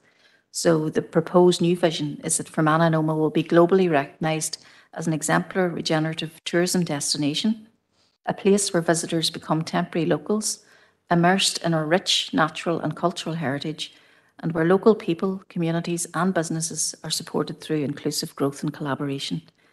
We want to include uh, specific definitions on sustainable and regenerative tourism to build the understanding of the difference between those, to add further information on how we will take forward the action plan, add an action within enabling industry on attracting employment talent to the area. We want to include additional information on planned and proposed capital investment by Waterways Ireland, to align our priority international markets with Tourism Ireland and uh, their, their their marketing uh, information, to clarify some of the figures quoted and the present, presentation of some pieces of information. I also want to add a further action around maximising opportunities for visitor experiences through our events and festival strategy as well. So officers are working with the consultants engaged to uh, update that plan and a copy will be provided to all members uh, shortly. In terms of the review of tourism governance and delivery, this was also a recommendation um, from Council in July. Uh, it's recognised that we do need to look, so alongside agreeing the new strategic vision, we need to look at how we deliver uh, the, this plan into the future. Um, and we are conducting that review uh, of governance and delivery. Um, we are, as members will be aware, looking closely at our budgetary position so in line with that work on the budgetary position, we aim to bring a report to the December meeting of the committee in terms of the conclusions of that uh, ongoing review work. So the recommendations are that the public consultation report at Appendix 1 is noted, that the Visitor Experience Development Plan is approved subject to the inclusion of the amendments at paragraph 215 and that a report on findings of the review of tourism governance and delivery is presented to the December meeting of the committee for consideration. Thank you very much, Kim. Councillor McAleer. Thanks, Chair. Yeah, um, um, I suppose at the last meeting in relation to this, I expressed some reservations about inclusion of the inclusive growth idea, and I think the idea of growth and unlimited growth is something that really has led to a lot of problems. So I wouldn't be in favour of including that because I think you, if you read through the line, it's really um, it's not relating to local people and it's not relating to local communities. I think it is something that's been kind of shoehorned in there, um, taken away from the tourism aspect of it, and I, and I would actually propose that we proceed. We can proceed with the other recommendations, but I would be inclined to leave the the statement as it is. Um, even if we include and businesses, that's fair enough. But I don't think the inclusive growth aspect of it is. I'm I'm very supportive of the work that has been done by by the the director and by the the the staff members in relation to it, and indeed the across the the district the input that has been put on this. But I think the focus has to remain on tourism and the aspects of attracting people to the area. Um, and just reading through the the second appendix there and the wonderful work that's been done right across the district and again I have to reference particular the the Omagh and the Sperrins end of it and I suppose the the significant uh, attention paid and praise given to An Creagán, um, just where I grew up as well. It, it's really worth praising all these fine locations and all these fine industries and businesses that we do have locally. But I think just given the, I suppose, the outline and the idea behind the report, I would just be inclined not to include that particular reference as part of, as part of our overall project. Thank you, Chair. Thank you, councillor. Councillor Errol Thompson. Thank you very much, Chair. And uh, can I also thank uh, Director Kim McLaughlin and, and everybody involved in this. There's a lot of work that's went into this. And I've heard what uh, our director has said. And uh, I'm happy to propose the recommendations as she has listed them. Thank you. Okay, members. Uh, councillor McElduff, was your hand up from previous or are we on this item? No, on this item, uh, Councillor. Yes, go ahead. Yep, go You- ahead. I again thank Kim and the team for producing this.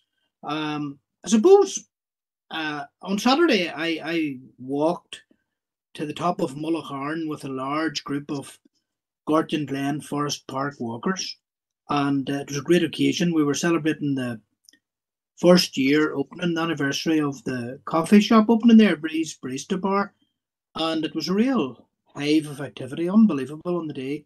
And recently I brought people there from from Limerick and Kerry, and they said if this was in Killarney, there would be coaches lined up in the in the car park, and uh, so really, I, I want is it an, is it an academic thing that Gortin Glen Forest Park is not identified as a visitor attraction on the list of council tourism attractions?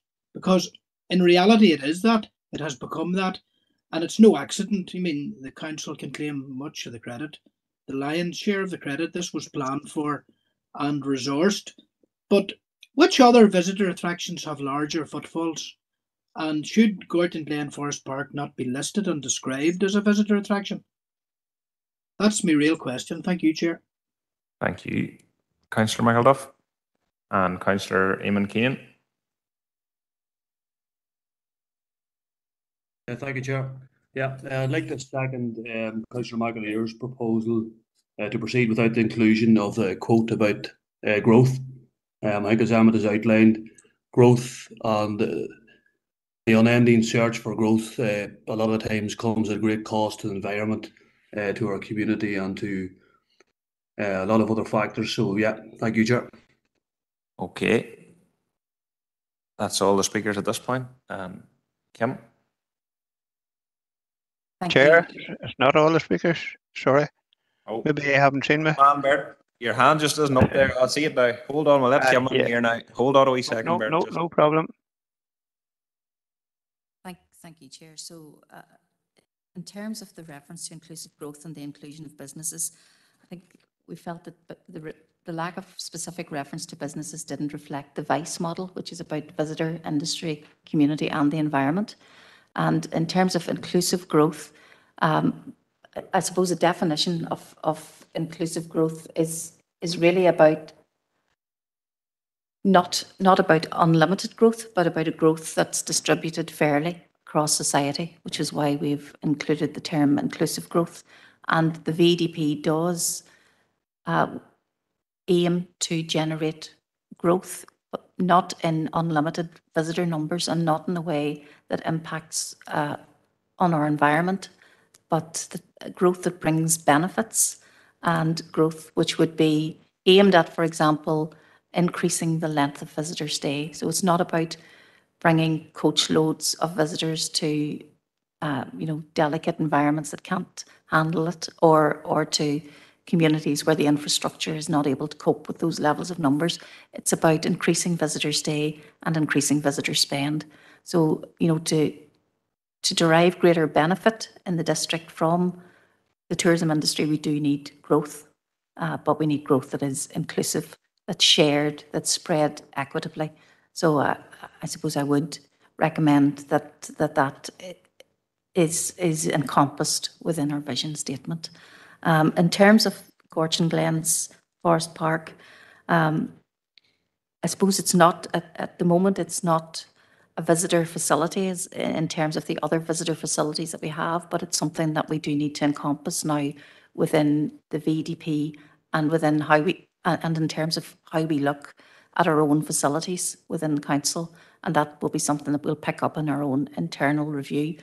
we do recognise that our numbers are uh, demonstrating that it is, if not the most, one of the highest uh, uh, visited places that we have we have in the district. Um, and so that is something that we do need to pick up in terms of our own our own internal arrangements. Thank you. Uh, Councillor Warrington. I just want to second uh, Councillor Thompson's uh, proposal for the recommendations. Thank you. Councillor, Wil- I go, Councillor Wilson. Yep, go ahead. Yes, well, I was just going to second that, but um, yes, well, you, you know, we are Fermanagh and Omagh. Fermanagh have got a natural beauty and a natural attraction on their lakes. Uh, over the years, uh, in my time and all along, uh, we had the Gortin Glens uh, Forest Park was really the attraction that was in the Omagh end of the, the uh, uh, council area, and the the attraction and the and the money that was spent building it up to what it is at this minute in time is really to be welcomed. Uh, it has, uh, you know, the attraction. I've been down, I say, I chaired the committee for a while down there, and the the, the um, attraction that is bringing, uh, drawing people for miles and miles and miles. And I would agree with what. Uh, uh, Councillor McElduff said there about uh, the attraction that it was in comparison with what uh, down south somewhere. But it, really uh, needs uh, it needs more uh, uh, support, I suppose, and uh, expansion because it's, it's the only it and the Sperrins are the really the only attraction that is in this end of uh, our uh, realistic council, and uh, I think it's great to have it. I think it's great to see it, and I have no problem supporting uh, the uh, proposal. Thank you. Thank you. And Councillor O'Cofaigh. Sorry, I was just. Okay, and thanks, Chair. Um, yeah, I, first of all, I want to say it's a good report. I think there's a lot of work's gone into it, and I want to thank those who've put their such effort into making this a report. Um, before I go on, I, I, in terms of the inclusive growth arguments, uh, I would tend to agree with the the line that was given there by the director, and I would just ask that that would be made explicit within the document that we're seeking a form of inclusive growth, which is to the benefit of all, because I think that is something that's important.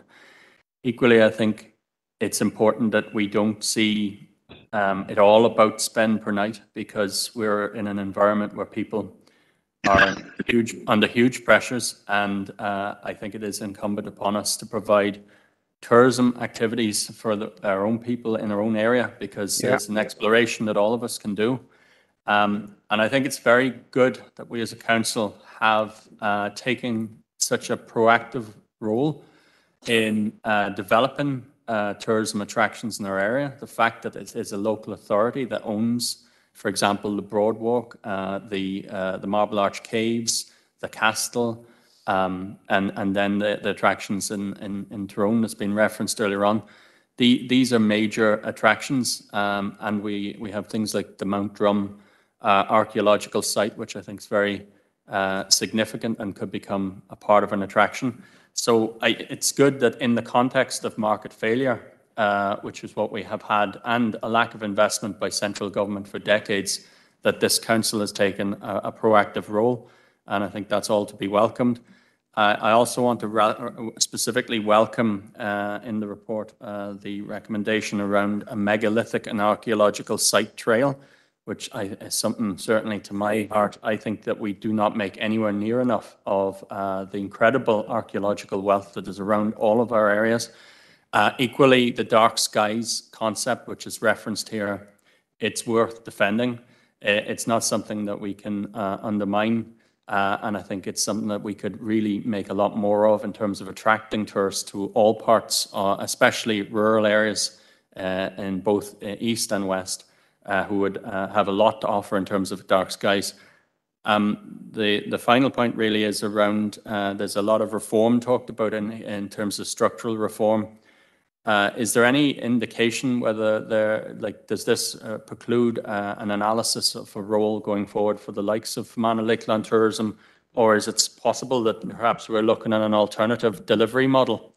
That's something um, I would like to have more information on. There's a lot of issues being raised in the consultation, which I think the director touched upon.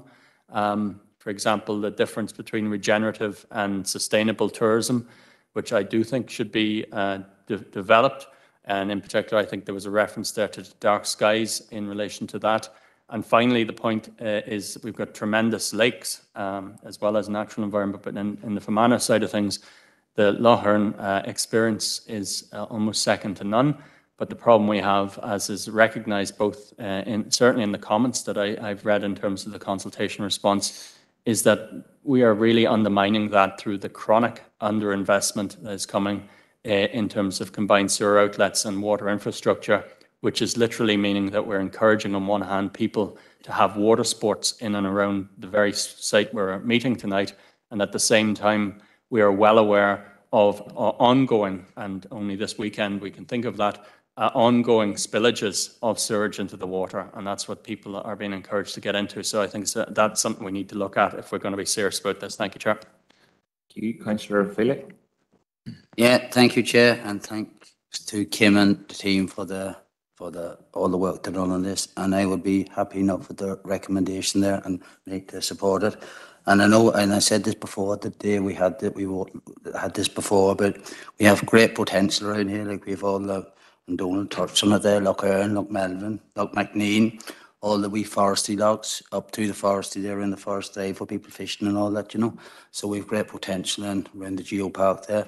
But I do, I can see where, where Emmett was coming from there, like, but maybe overdoing it too much, like a wee bit there. I seen up at the in the start up at the board at the boardwalk there with there's there's serious problems with parking and all that there, and maybe too many people come. which you think that's a, a, a good thing, but was kind of a bad thing in the start. But all that would be got sorted out and got ironed out through time, you know, and it's not as bad now. Like, and thank you, Kim. You explained it very well about the inclusive growth, as growth for all, and.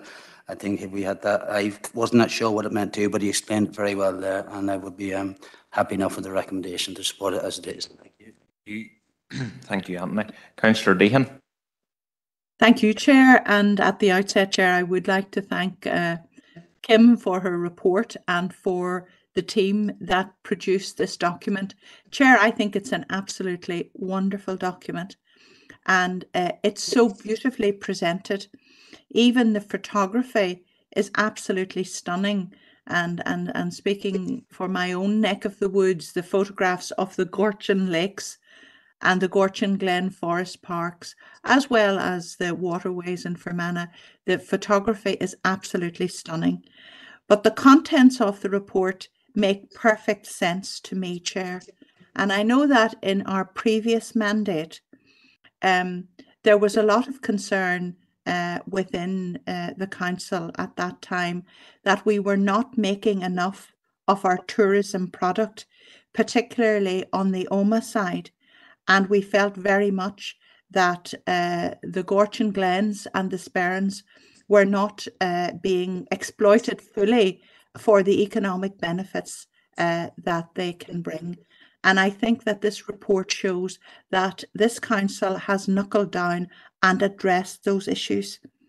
I think that tourism has the potential to really uh, add to our economic growth and the livelihoods of people who can uh, use tourism uh, um, for expanding their businesses, for innovation. We have already seen it um, in our district council area, how innovative people can be uh, with little uh, coffee stops and so on.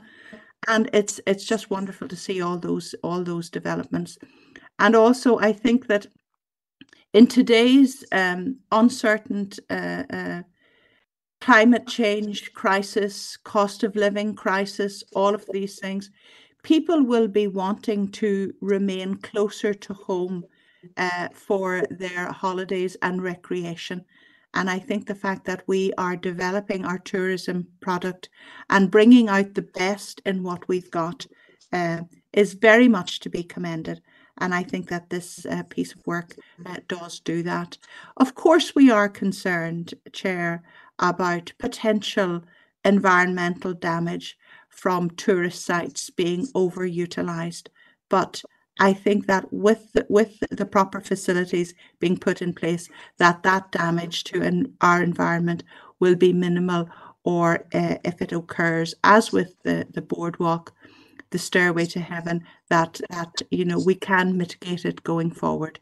So I'm just happy to support the recommendation, Chair. Thank you. Thank you. and Councillor Baird. Yes, thank you, Chair. It's just an administrative point. Under item three, I declared an interest in this, and that was in relation to my membership of Fermanagh uh, FLT. But having listened and reread the papers there, I don't see a, a, a, conflict of interest now. There probably will be next month when we come to the governance. So I want to withdraw my declaration of interest. Okay. Members, we've had it proposed and seconded. We've had two proposals actually. Sorry, Kim. Yeah, go ahead.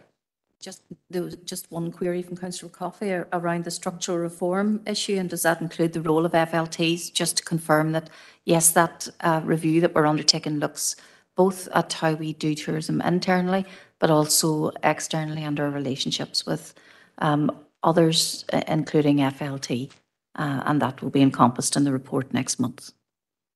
Thank you. Uh, Councillor McAleer, your proposal was the first one that was seconded um, that we remove inclusive growth um, from from that statement. Is that correct?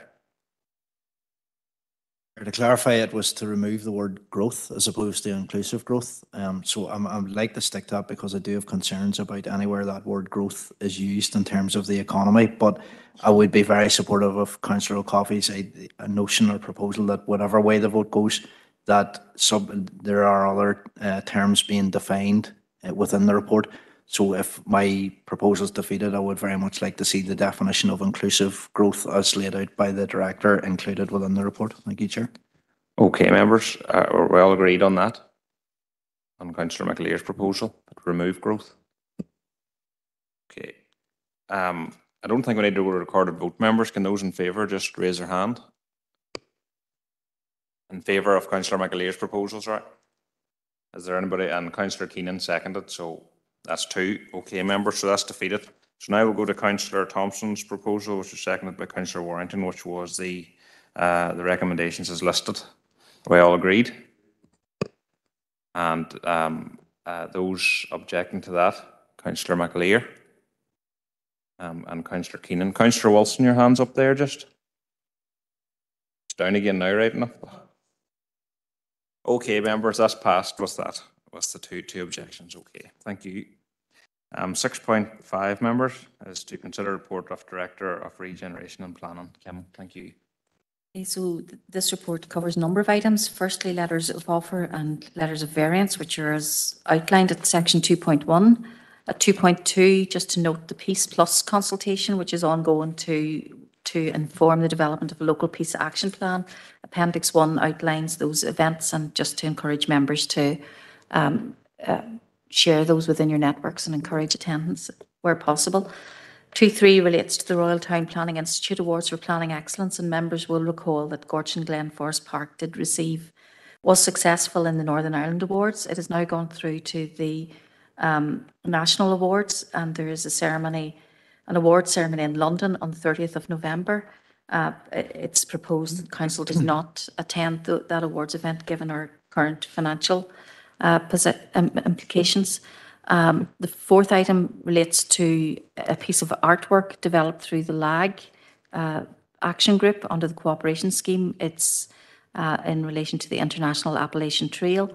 That artwork is currently in situ in uh, the Ulster American Folk Park, um, and it's recommended now that we just formalise that process by the transfer of title to National Museums Northern Ireland and approve sign off by the Chief Executive. The fifth item then relates to the COVID Recovery Small Settlements Regeneration Programme. Members will recall they've previously agreed that that uh, action plan, which is approved by the three government departments, includes four distinct elements.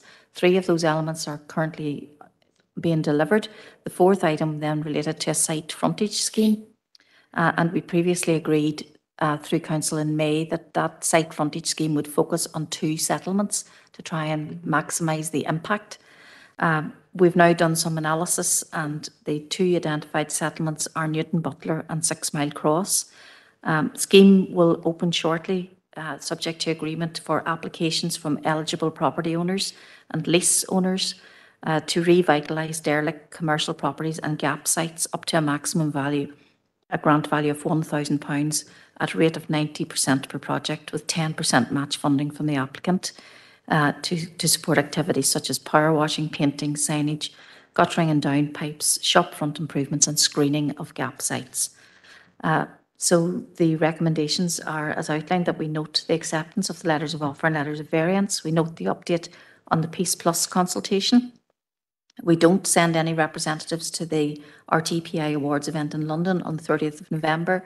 Approve transfer of title of the Murmuration artwork from FODC to National Museums NI and agree that the site frontage scheme is targeted at properties in the Newton Butler and Six Mile Cross settlements. Thank you. Councillor Willers. Gura Margaret Carley, uh, thank you, Chair, and thanks to Kim for the report. I think it's an extremely positive report with lots of good news for our community, so I'm happy to propose the recommendations. Um, some good uh, positive announcements there from the PHA um, with their support for several of the health programs in the area, including the contribution towards the fuel poverty scheme. We've already spoken regularly, I think, on the impact that the increase in fuel costs having on people in this chamber. Um, and I've even seen the growth in membership of an oil club involved in Mid in recent months. So that continues to grow. So we need to see more mitigation for the costs that people are facing. I would just have a query there on um, when will the fuel poverty scheme be administered and how will it be administered. Um, on 2.3 there, the Gortin Glen Forest Park been shortlisted for that Excellence in Planning for Health and Wellbeing Award. As referred to earlier by Councillor McElduff, there's some great work been done there by um, all of the council staff and developing that venue. So um, well done to them as well. The site frontage scheme then, and uh, is, and that includes Six Mile Cross and my own DA. So that's a welcome investment that'll help revitalise properties in the village. And again, have a question on that is um, when details on the scheme will be published and um, when will applications be opened. And then finally, as um, Kim alluded to earlier there, I'd like to encourage people to attend the remaining Peace Plus consultations. Um, it's a great opportunity for local people to get involved and get their uh, communities prioritised in the new programme. So uh, encourage people to go to that as well. Graham Margaret. That point, Kim. Well, just to note that um, John might want to comment on the fuel poverty scheme, but in terms of the site frontage, if we get approval tonight to, to work with those two settlements, we'll open that scheme as, as soon as possible and I'll share the, the dates with members in terms of the um, arrangements for opening the call. Thank you. John? Yes, Ch- Chair, just in relation to the award of £12,000 for the fuel poverty scheme, this is a, a, a figure or an amount of money that we get each year from the PHA in relation to programs, not necessarily, and it, it isn't in relation to giving out money to residents in, in relation to fuel poverty. It is uh, for programs um, such as the energy workshops and, and various things in provision of information um, uh, to do uh, energy assessments. Uh, I think we have 180 or just over 180 energy assessments to do to do out of that, and also to to run slow cooker events uh, as part of the program.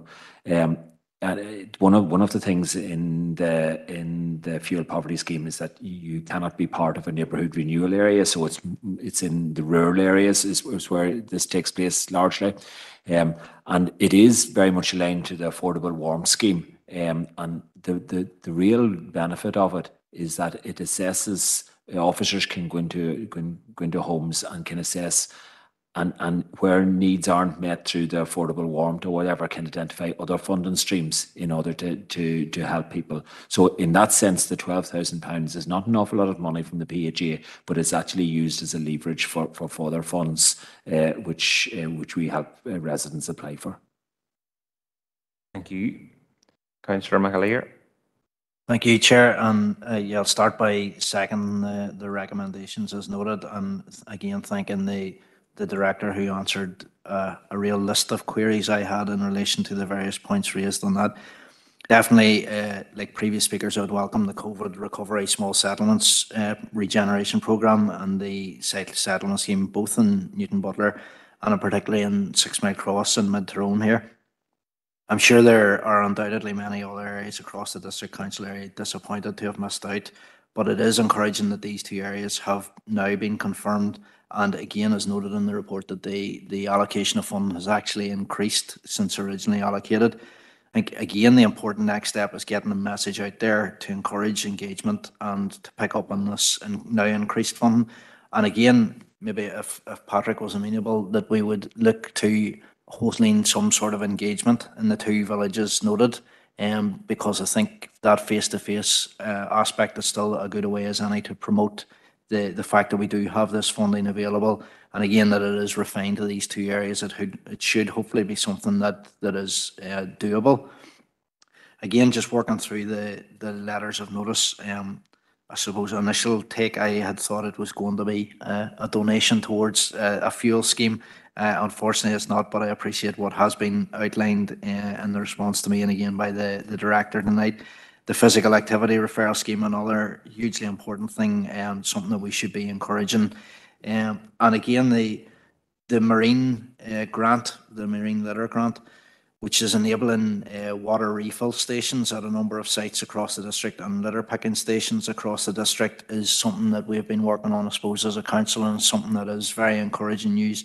And to note again that the the Gortin Glen site is something that's going to benefit from both these is definitely good news for for Mid Tyrone, uh, and there are other areas across Omagh and Enniskillen that, that stand to uh, benefit as well, and Belcoo there as well. So just uh, very pleased with with what's been brought forward and happy enough to second as noted. Thank you, Chair. Thank you. Councillor Thompson. Thank you very much, Chair. You'll be glad to know that I'm not going to repeat everything that's in, in the document, but uh, I agree with a lot of what has been said by the two speakers.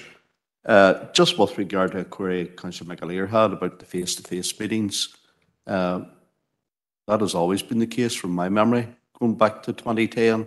So I don't see why it would be the case as we move forward. But I'm happy to propose or happy to support the recommendations as listed, Chair. Thank you. Thank you, Councillor Stephen Donnelly. No, thank you, Chair. I mean, uh, likewise, I just uh, want to support um, the comments by Councillor McAleer that I think it is important that actually that on the ground engagement does take place to make sure that actually the benefits that the scheme uh, presents for both Newtownbutler and Six Mile Cross can be fully realised because I think that this can be genuinely transformative even though it's a it's a it's a, it's a, it's a small amount of money but I think it can have a real big difference just in terms of revitalising the public image of both uh, Six Mile Cross and Newtownbutler, making sure that it has a more livelier, kind of more vibrant and uh, more cleanly uh, image. And hopefully, in due course, we'll have the opportunity to be able to further advance similar schemes uh, in, in different contexts uh, to different villages and rural areas across the district. Thank you, Chair. Thank you, Councillor Donnelly. And Councillor Philip. Thank you, Chair. Yeah, just like to welcome this report as well and the letters of office, especially one for the, the cultural lakelands there as well. Good to see it. No, I was just coming on the on the Peace Plus consultations as well. I was at one in Belcoo myself there. I think it was on the 18th of October. I see that there's been four already to date. There was two at seven o'clock in the evening. There's two at midday. I was wondering to came to Kim know has the has the been Midland crowds going to them? Is the ones at midday or the smaller the ones in the evening? Or, or does she know? I just just wondering from you because I think um, I was at the one in the evening and it wasn't that fierce big of a crowd at it. So I was just wondering was is there any difference between it? Do you have that information, Kim? Don't have the actual numbers, but uh, I know that it's challenging to get people to come to any of these in-person consultation events. We did want to give the opportunity and we have varied times so that people can pick the time that suits them, but we have supplemented them with online events as well to try and maximise engagement. Thank you. Councillor Keenan. Thank you, Chair. Yeah, I'd like to also lend me support to the recommendations and some very worthwhile projects. Um, just on the point of the Appalachian Appalachian art piece, um, um, it's not too often uh, the subject of art comes up, but I have been made aware of uh, there's a similar or there's an opportunity coming to our area in January 2023 with an art roadshow display, and uh, this display has been done by a Palestinian um, interfaith group and uh, I think there's 12 pieces of art within it and uh, very interesting stuff. And I'd like to propose maybe, if possible, that we as a council could provide um, some of our buildings in the area to showcase this this this uh, art roadshow. Um, thank you, Chair. Okay, councillor, councillor Bell.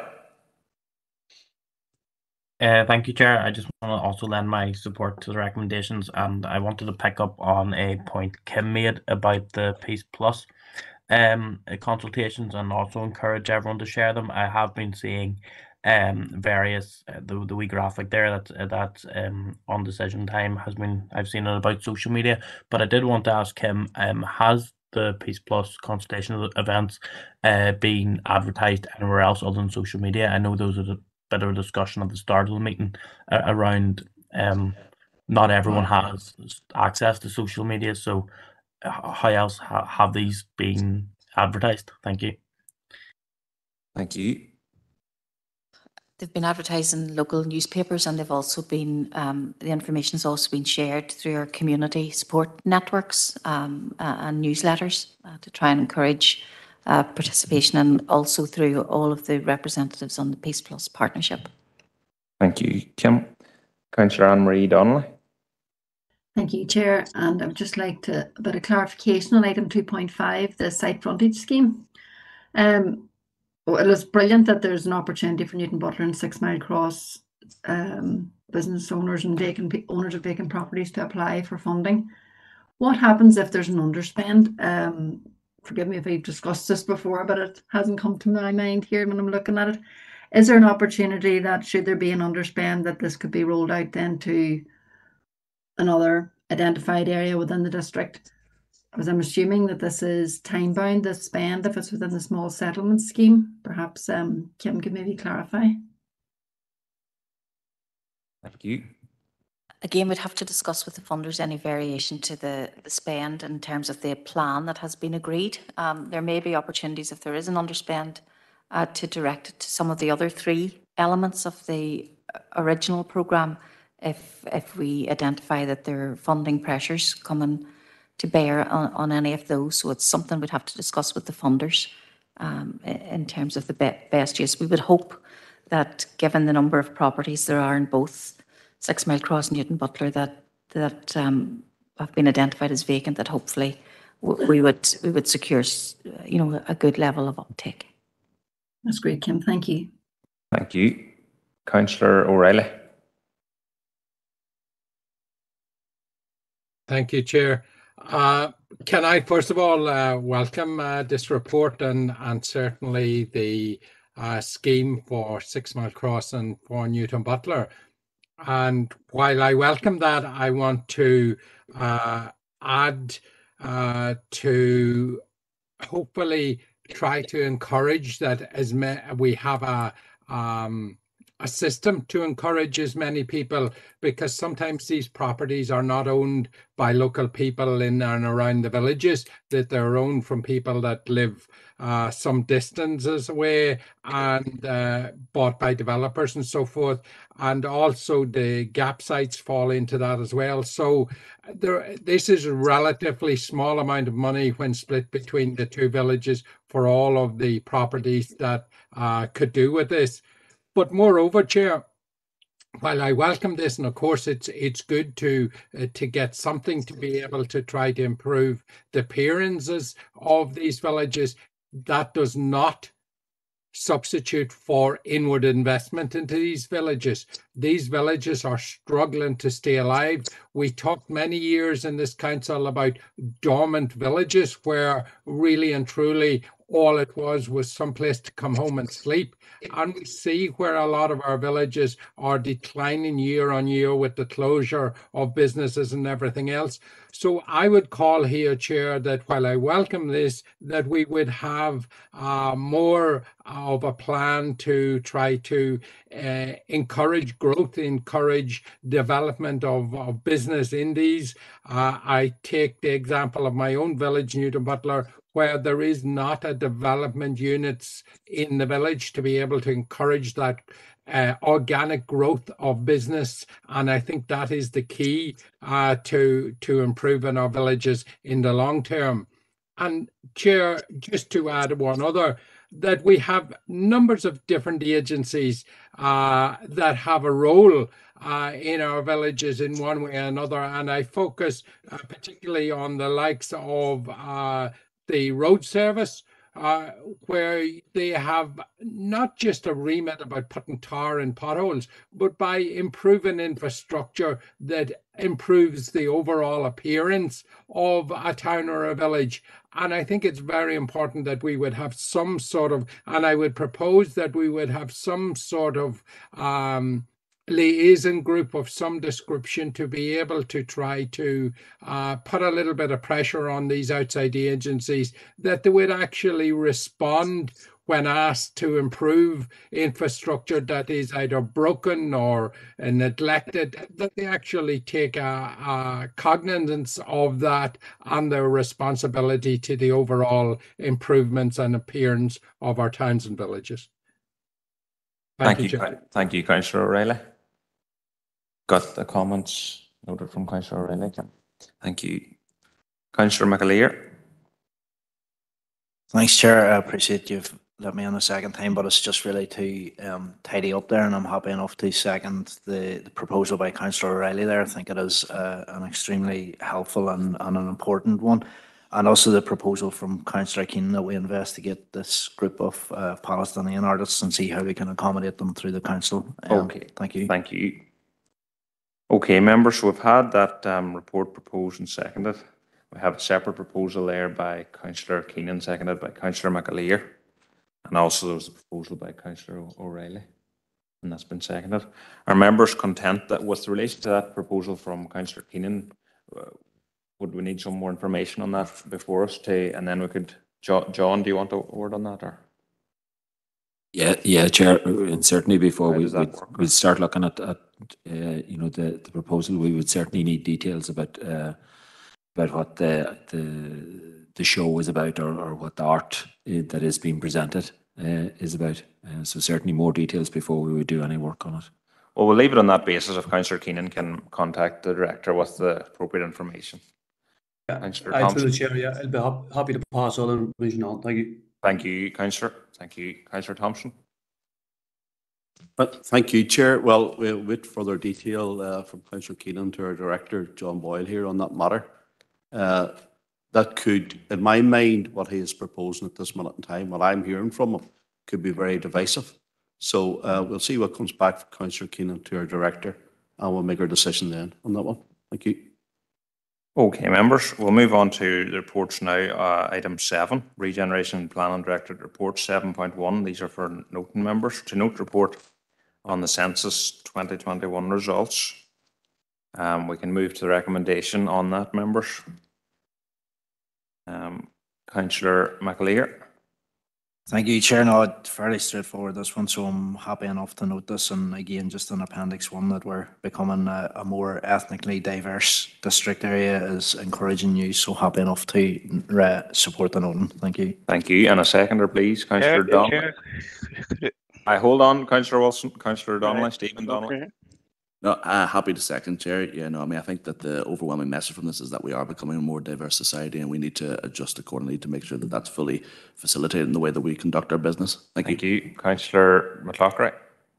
Thank you. I was going to second it. Um, I'm glad to note that the uh, population of Enniskillen has dropped by 100 as the organisers of the tidy towns had wanted to upgrade us to a large town, but having a population reduction actually keeps us safe in the medium town category again. Thank you. Councillor Wilson. Yes, Chair. Well, I, I welcome this uh, document as well. And in fact, it uh, uh, just proves that some of the things I have been uh, saying are not just uh, pie in the sky. Uh, for instance, in our own council area, 96% of the population speak uh, English. Uh, 4% other languages, and that would include uh, Polish, Irish, and Lithuanian. So at least 98, 98% of the, the population in our area speak uh, English. And uh, we are uh, quite happy now to go ahead and squander millions of pounds on uh, uh, erecting political road signs. Thank you. Okay, this screen, sorry, members, has, uh, has left me. Uh, Councillor Keenan, were you on that issue or was it from before?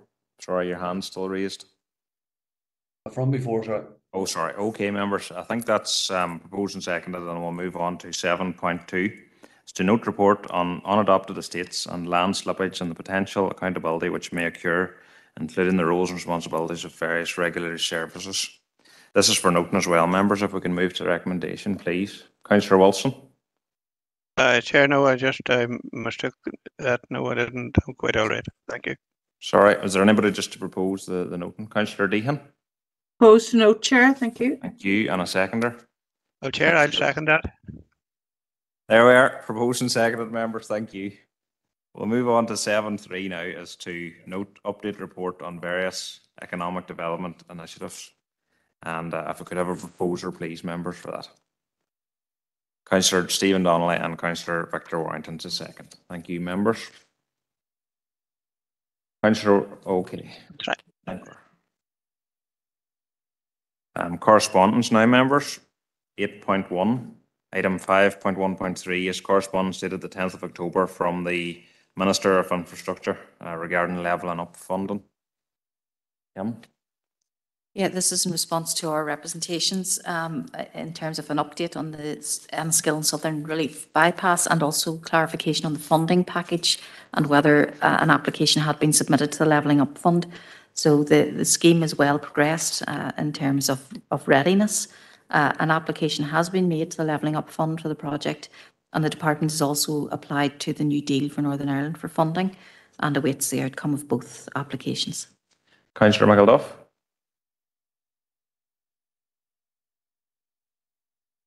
Sorry about that, Mark. Sorry about that. Oh, sorry, just a proposer to note, please, members. Uh, this, this item, Councillor Thompson and Councillor Swift a second. Thank you. Uh, we'll take, we've already dealt with eight two members. Eight three, I think we can take eight three one and eight three two together. It's correspondence dated the eleventh of October from the Minister um, of the Agriculture, Environment, Rural Affairs regarding the cost of living crisis, and also correspondence of the seventeenth of October from the Minister for the Economy. Um, both for note members, Councillor McAleer. Thank you, Chair. Yeah. Um, obviously, this I'll propose to note to begin with, but uh, this is obviously in response to uh, a previous motion taken by this council and uh, communications issued.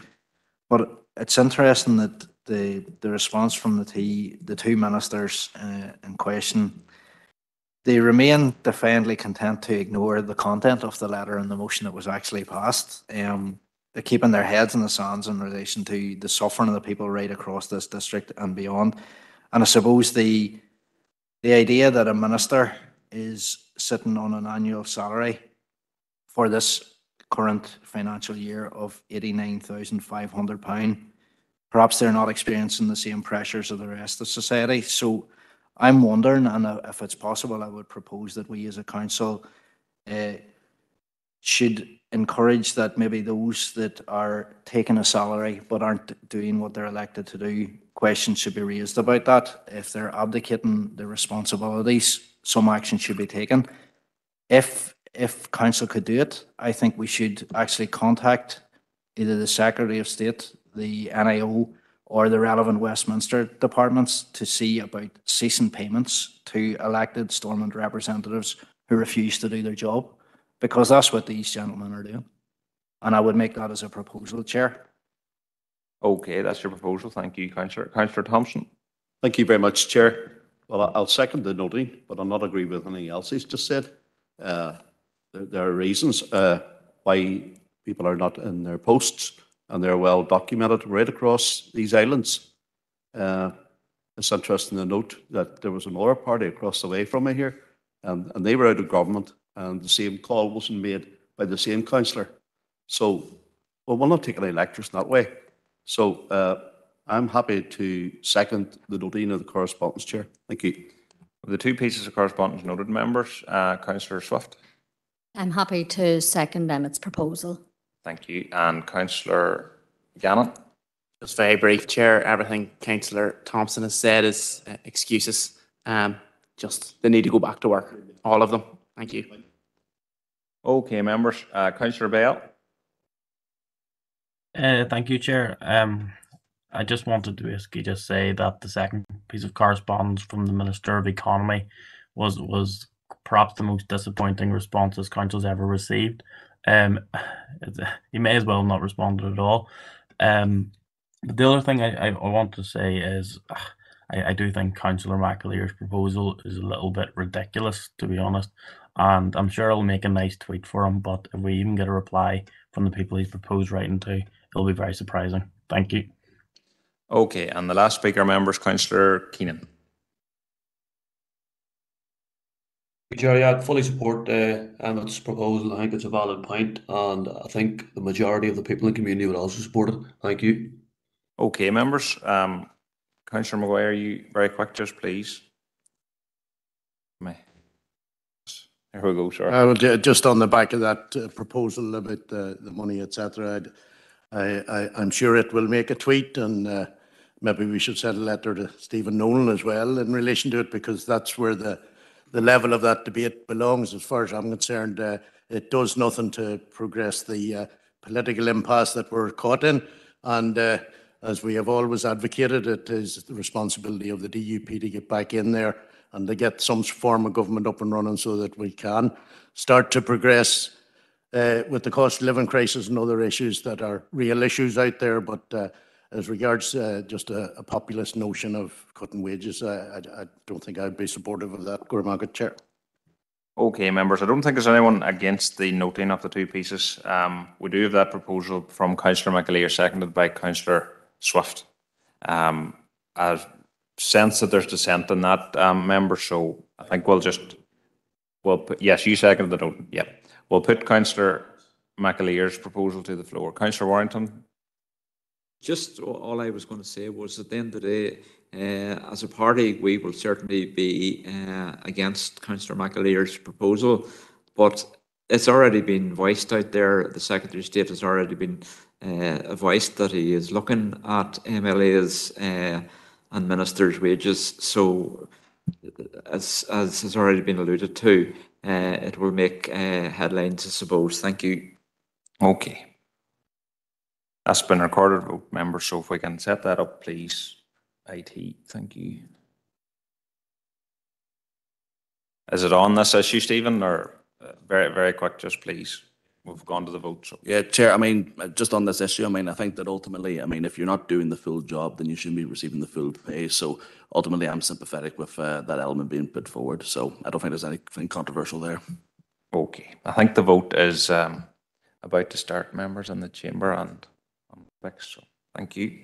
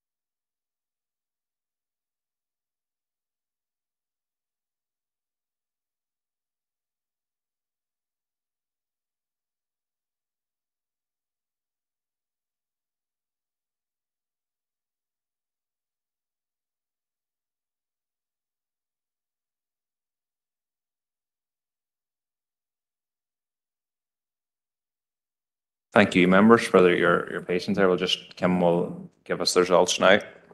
Okay, members, so that's seven for, 13 against and one abstention. Okay, so the proposal falls, members. So move on to eight point four. It's to note correspondence dated the twenty-sixth of October from DFI regarding St. Lucia site in Omagh. Um, and we'll go just to councillor Deehan, that's just for noting. Yes, Chair, uh, uh, I uh, would like to propose to note this correspondence. But Chair, you know, um, in the Omagh place shaping plan, uh, there was reference made to the St. Lucia site and what a valuable site this is, and potentially how it could add considerably to the county town of Tyrone, which is Omagh.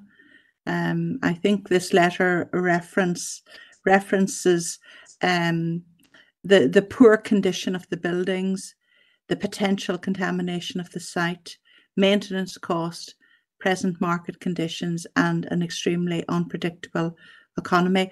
Unfortunately, uh, that that particular situation has not arisen overnight. This property has been lying vacant and deteriorating uh, for over 15 years. And uh, unfortunately, this letter doesn't uh, reassure me uh, that there's going to be any uh, action on the transfer of the St. Lucia site anytime soon um, to the, uh, the Department for Infrastructure. I mean, the letter does uh, make reference to uh, the extension of our Riverside Walk and the council developing a feasibility study. If we could find a discrete section of the site which would not jeopardize any future developments, I mean, I don't know how we can identify uh, uh, a discrete portion of the site if we don't really know what the future development plans uh, are.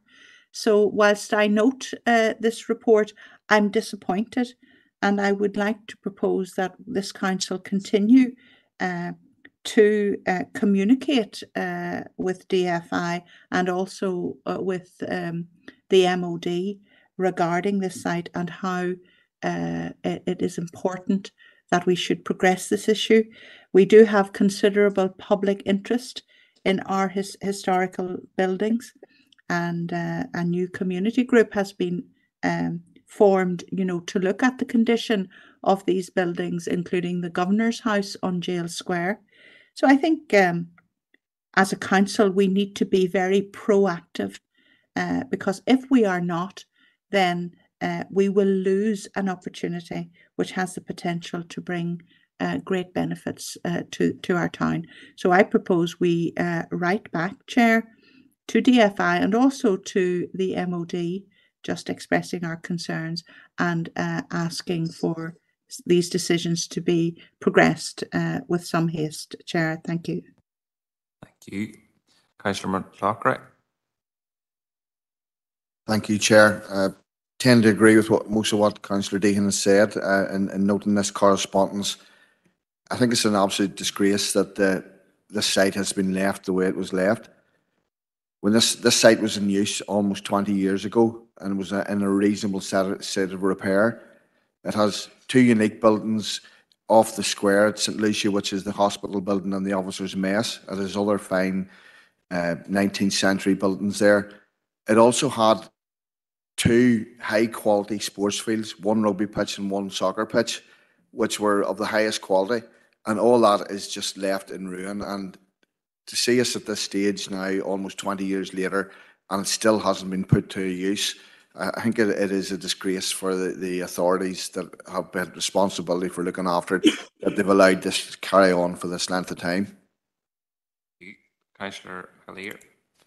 Thank you, Chair. Yeah, um, supportive of the, the previous speakers and um, I think Councillor McLaughlin noted the, the letter. I'm not sure if he seconded Councillor Deehan's proposal. If not, I'm happy to do so. I think the the note within the letter that MOD has confirmed that no funding will transfer with the land, which would result in DFI becoming liable for all costs incurred when, as we all know, no matter what the cost of living crisis or what the, the next crisis is going to be, defence, and I use that in, in inverted commas, defence is always the one that never seems to suffer any budgetary cuts. So I think uh, in relation to, to that, that's hugely disappointing, and I am fully supportive of going back to to see what can be done in relation to that. Uh, Councillor Deehan also referred when she was speaking there about the, the new group in Omagh, Save Omagh Jail. Um, I'd actually like to propose that we as a council, through the officers, investigate the, the prospect of having an informal meeting with this group, um, subject to obviously them meeting requirements and that.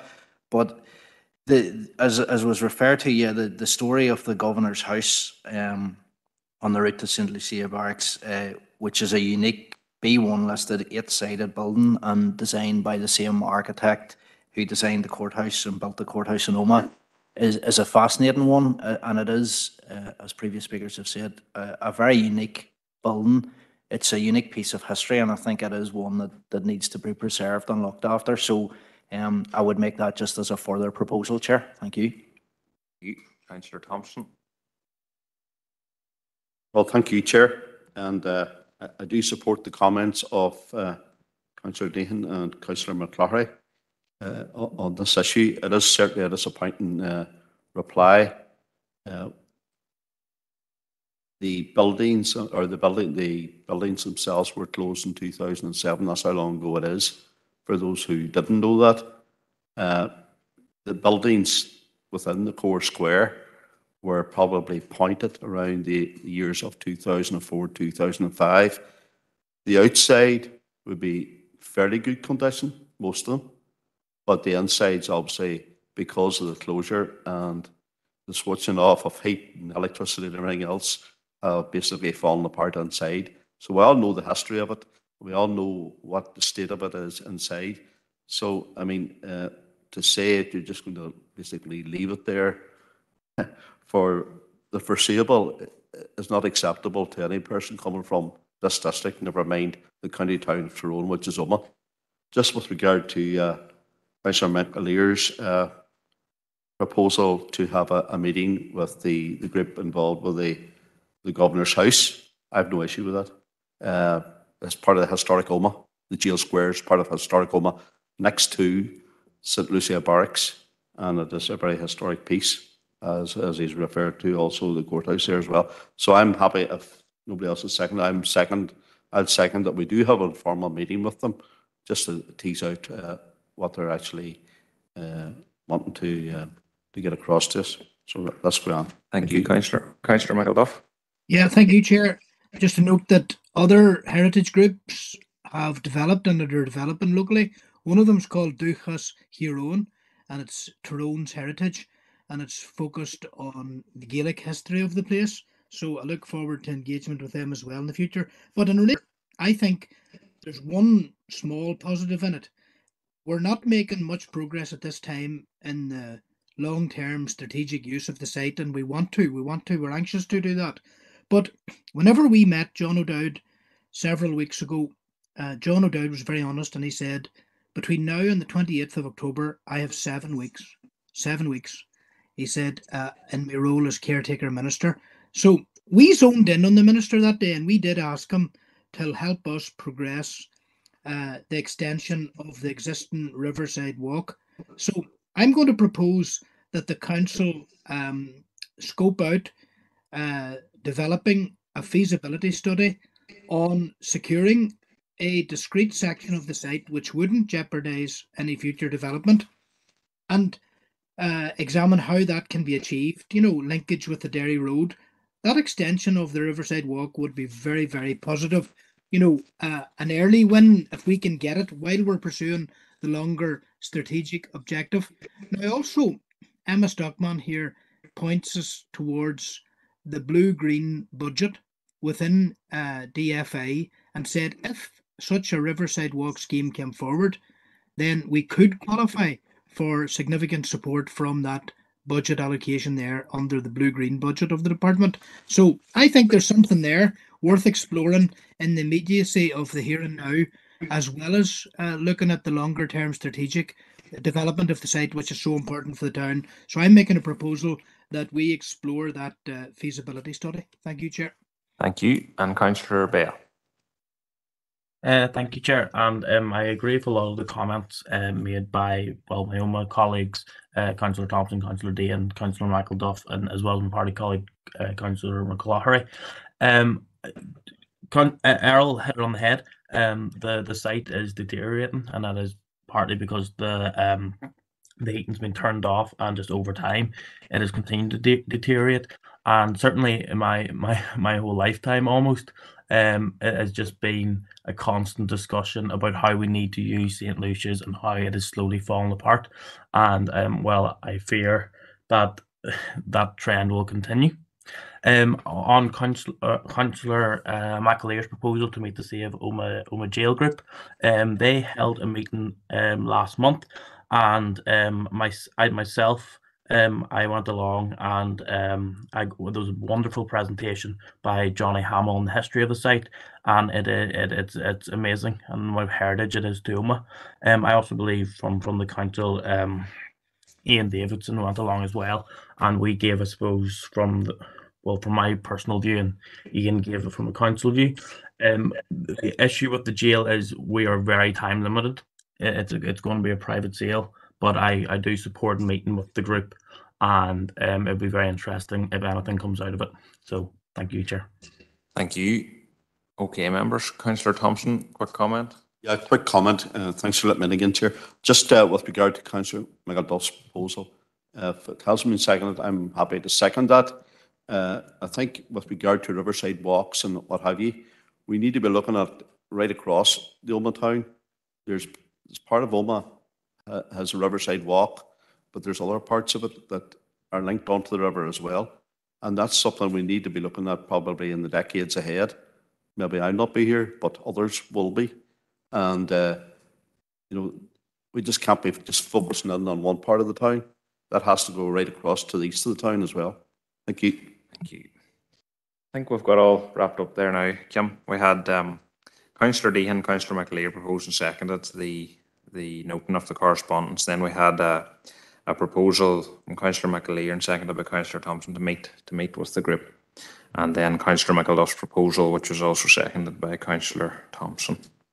Okay, members all agreed on them. Thank you. Councillor McElduff. Sorry, Chair, all right, just to McAleer. clarify there, I believe it was Councillor Deehan and Councillor McLaughlin noted the letter and then Councillor Deehan made a further proposal just to contact the relevant. people. That's Sorry about maybe that's it. No problem. Thank you. Okay, we have another piece of correspondence, eight point five members, is um, from NI Water, and this was regarding a query raised last month, I think, around flooding. Councillor McLaughlin. I'll propose to note, that I live between Manu Cross and Ardes Cross, and I'm a landowner there, so I'm getting the blame apparently, but it, it was just excessive late rain. Um, I've never seen rain like it. It, it literally, it was just like emptying buckets of water constantly for about half an hour, and, and the amount of rain that fell, and Ederney did, did really suffer. It took both farmers and, and fire brigade to assist the residents that were badly affected. I'm glad to see that they are addressing the problems at 23 and 25 because that has been ongoing for quite a long time and this finally brought it to a head. Uh, hopefully we'd never see rain like that again, but these once in a century episodes seem to happen once a year, so it's difficult to see what will happen, but propose a note. Thank you. Have I a seconder for a noting, please? Councillor John Coyle. Yeah, thanks, Chair. I'm happy to second uh, the noting of this. Um, it's, ex- it was unbelievable amount of rain that fell, so, um, and, uh, again, I'll thank the council for helping residents and businesses that were affected on the day and, uh, financially as well, the money. Thank you. Thank you. Okay, members, that's passed. Okay, members, we're on to item nine. There's a few people have contacted me. Maybe at this stage we could just tick the confidential minutes and then we'll finish with AOB. So, um, proposer for committee, please, Councillor Thompson, and a seconder, Councillor Donnelly, Stephen Donnelly. Thank you. We'll just pause the recording.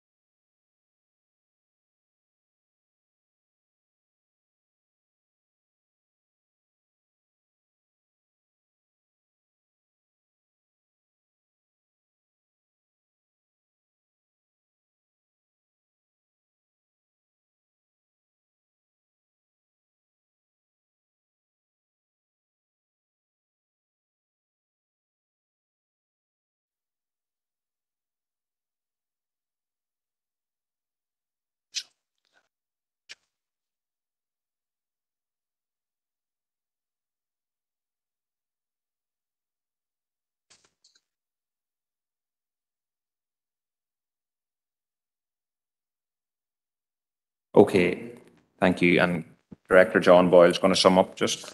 Chair, thank you. Uh, Wilson Committee members considered the confidential minutes of the Regeneration and Community Committee meeting of the 11th of October 2022 and there were no matters arising. Okay, thank you, member. So item nine, AOB, um, councillor. Uh, oh, sorry, just a proposal to note that update, councillor Thompson and councillor Gannon. So councillor Gannon, you had two items. Just if you can bring the two proposals together, please, and be be brief if you can. I need to turn you on, is right. Thank you, Chair. I'll be as brief as I can. Uh, I'll, the first one's simple enough. Um, so uh, it was recently, it's just today, it was raised with me by families about the withdrawal of adult daycare services from Garrison. Um, so this is news that was just given today. Um, because of the late notice of it, I wasn't able to find out the reasons for it. But what I'm proposing is that we contact Lakeland Community Care because they are the uh, organisation that runs it, and we ask them what are the, the reasons for this. Is it that they've had funding withdrawn? Is it an operational decision on their part? Uh, and if we are able to assist, if it is say funding's been withdrawn, if we're able to assist with lobbying to get that back, um, that would be uh, that we would be open to doing that. But just to ask them what's the cause of this and um, if we can see about getting it back if there's some sort of barrier to being there. So Okay, well, that's, that's the proposal. Yep, that's okay. Is there a seconder for that just at this stage, councillor Feely? Yeah, thanks, Chair. Yeah, I'll second that. I also was contacted by a couple of people there in the Garrison Belcoo area about this issue, and I was uh, going to get on to um, Lakeland Community Care tomorrow anyway, but we'll, um, happy to propose that at the second. Right, we'll, we'll keep moving. We'll get that letter um, actioned um, at this stage. Councillor O'Cofaigh? I was coming in for the next one. Thank you, Chair. Councillor Gannon, okay. Thank you, Chair. Obviously, uh, we all know about the threats to the emergency surgical services at the Southwest Acute Hospital. Uh, and a campaign group has been established, established to save our acute uh, services. And they're running a, lot, a number of events, including in particular a, a mass rally in support of these uh, services on the uh, 2nd of December. Uh, and other things like uh, getting people together to form a ring of steel as a, a metaphorical um, action of our services. So what I, I would just like to propose that council officers uh, get in touch with the group or the or if the group contacts the council before that, uh, work with the campaign to assist in whatever way possible with them with delivering the campaign. If that means looking at facilities, uh, lighting and things like that. But I'm sure that'll be all discussed between officers and the campaign organisers. Um, you know, this is huge. The loss of emergency surgical services could lead to uh, a, just a loss of the hospital, full stop.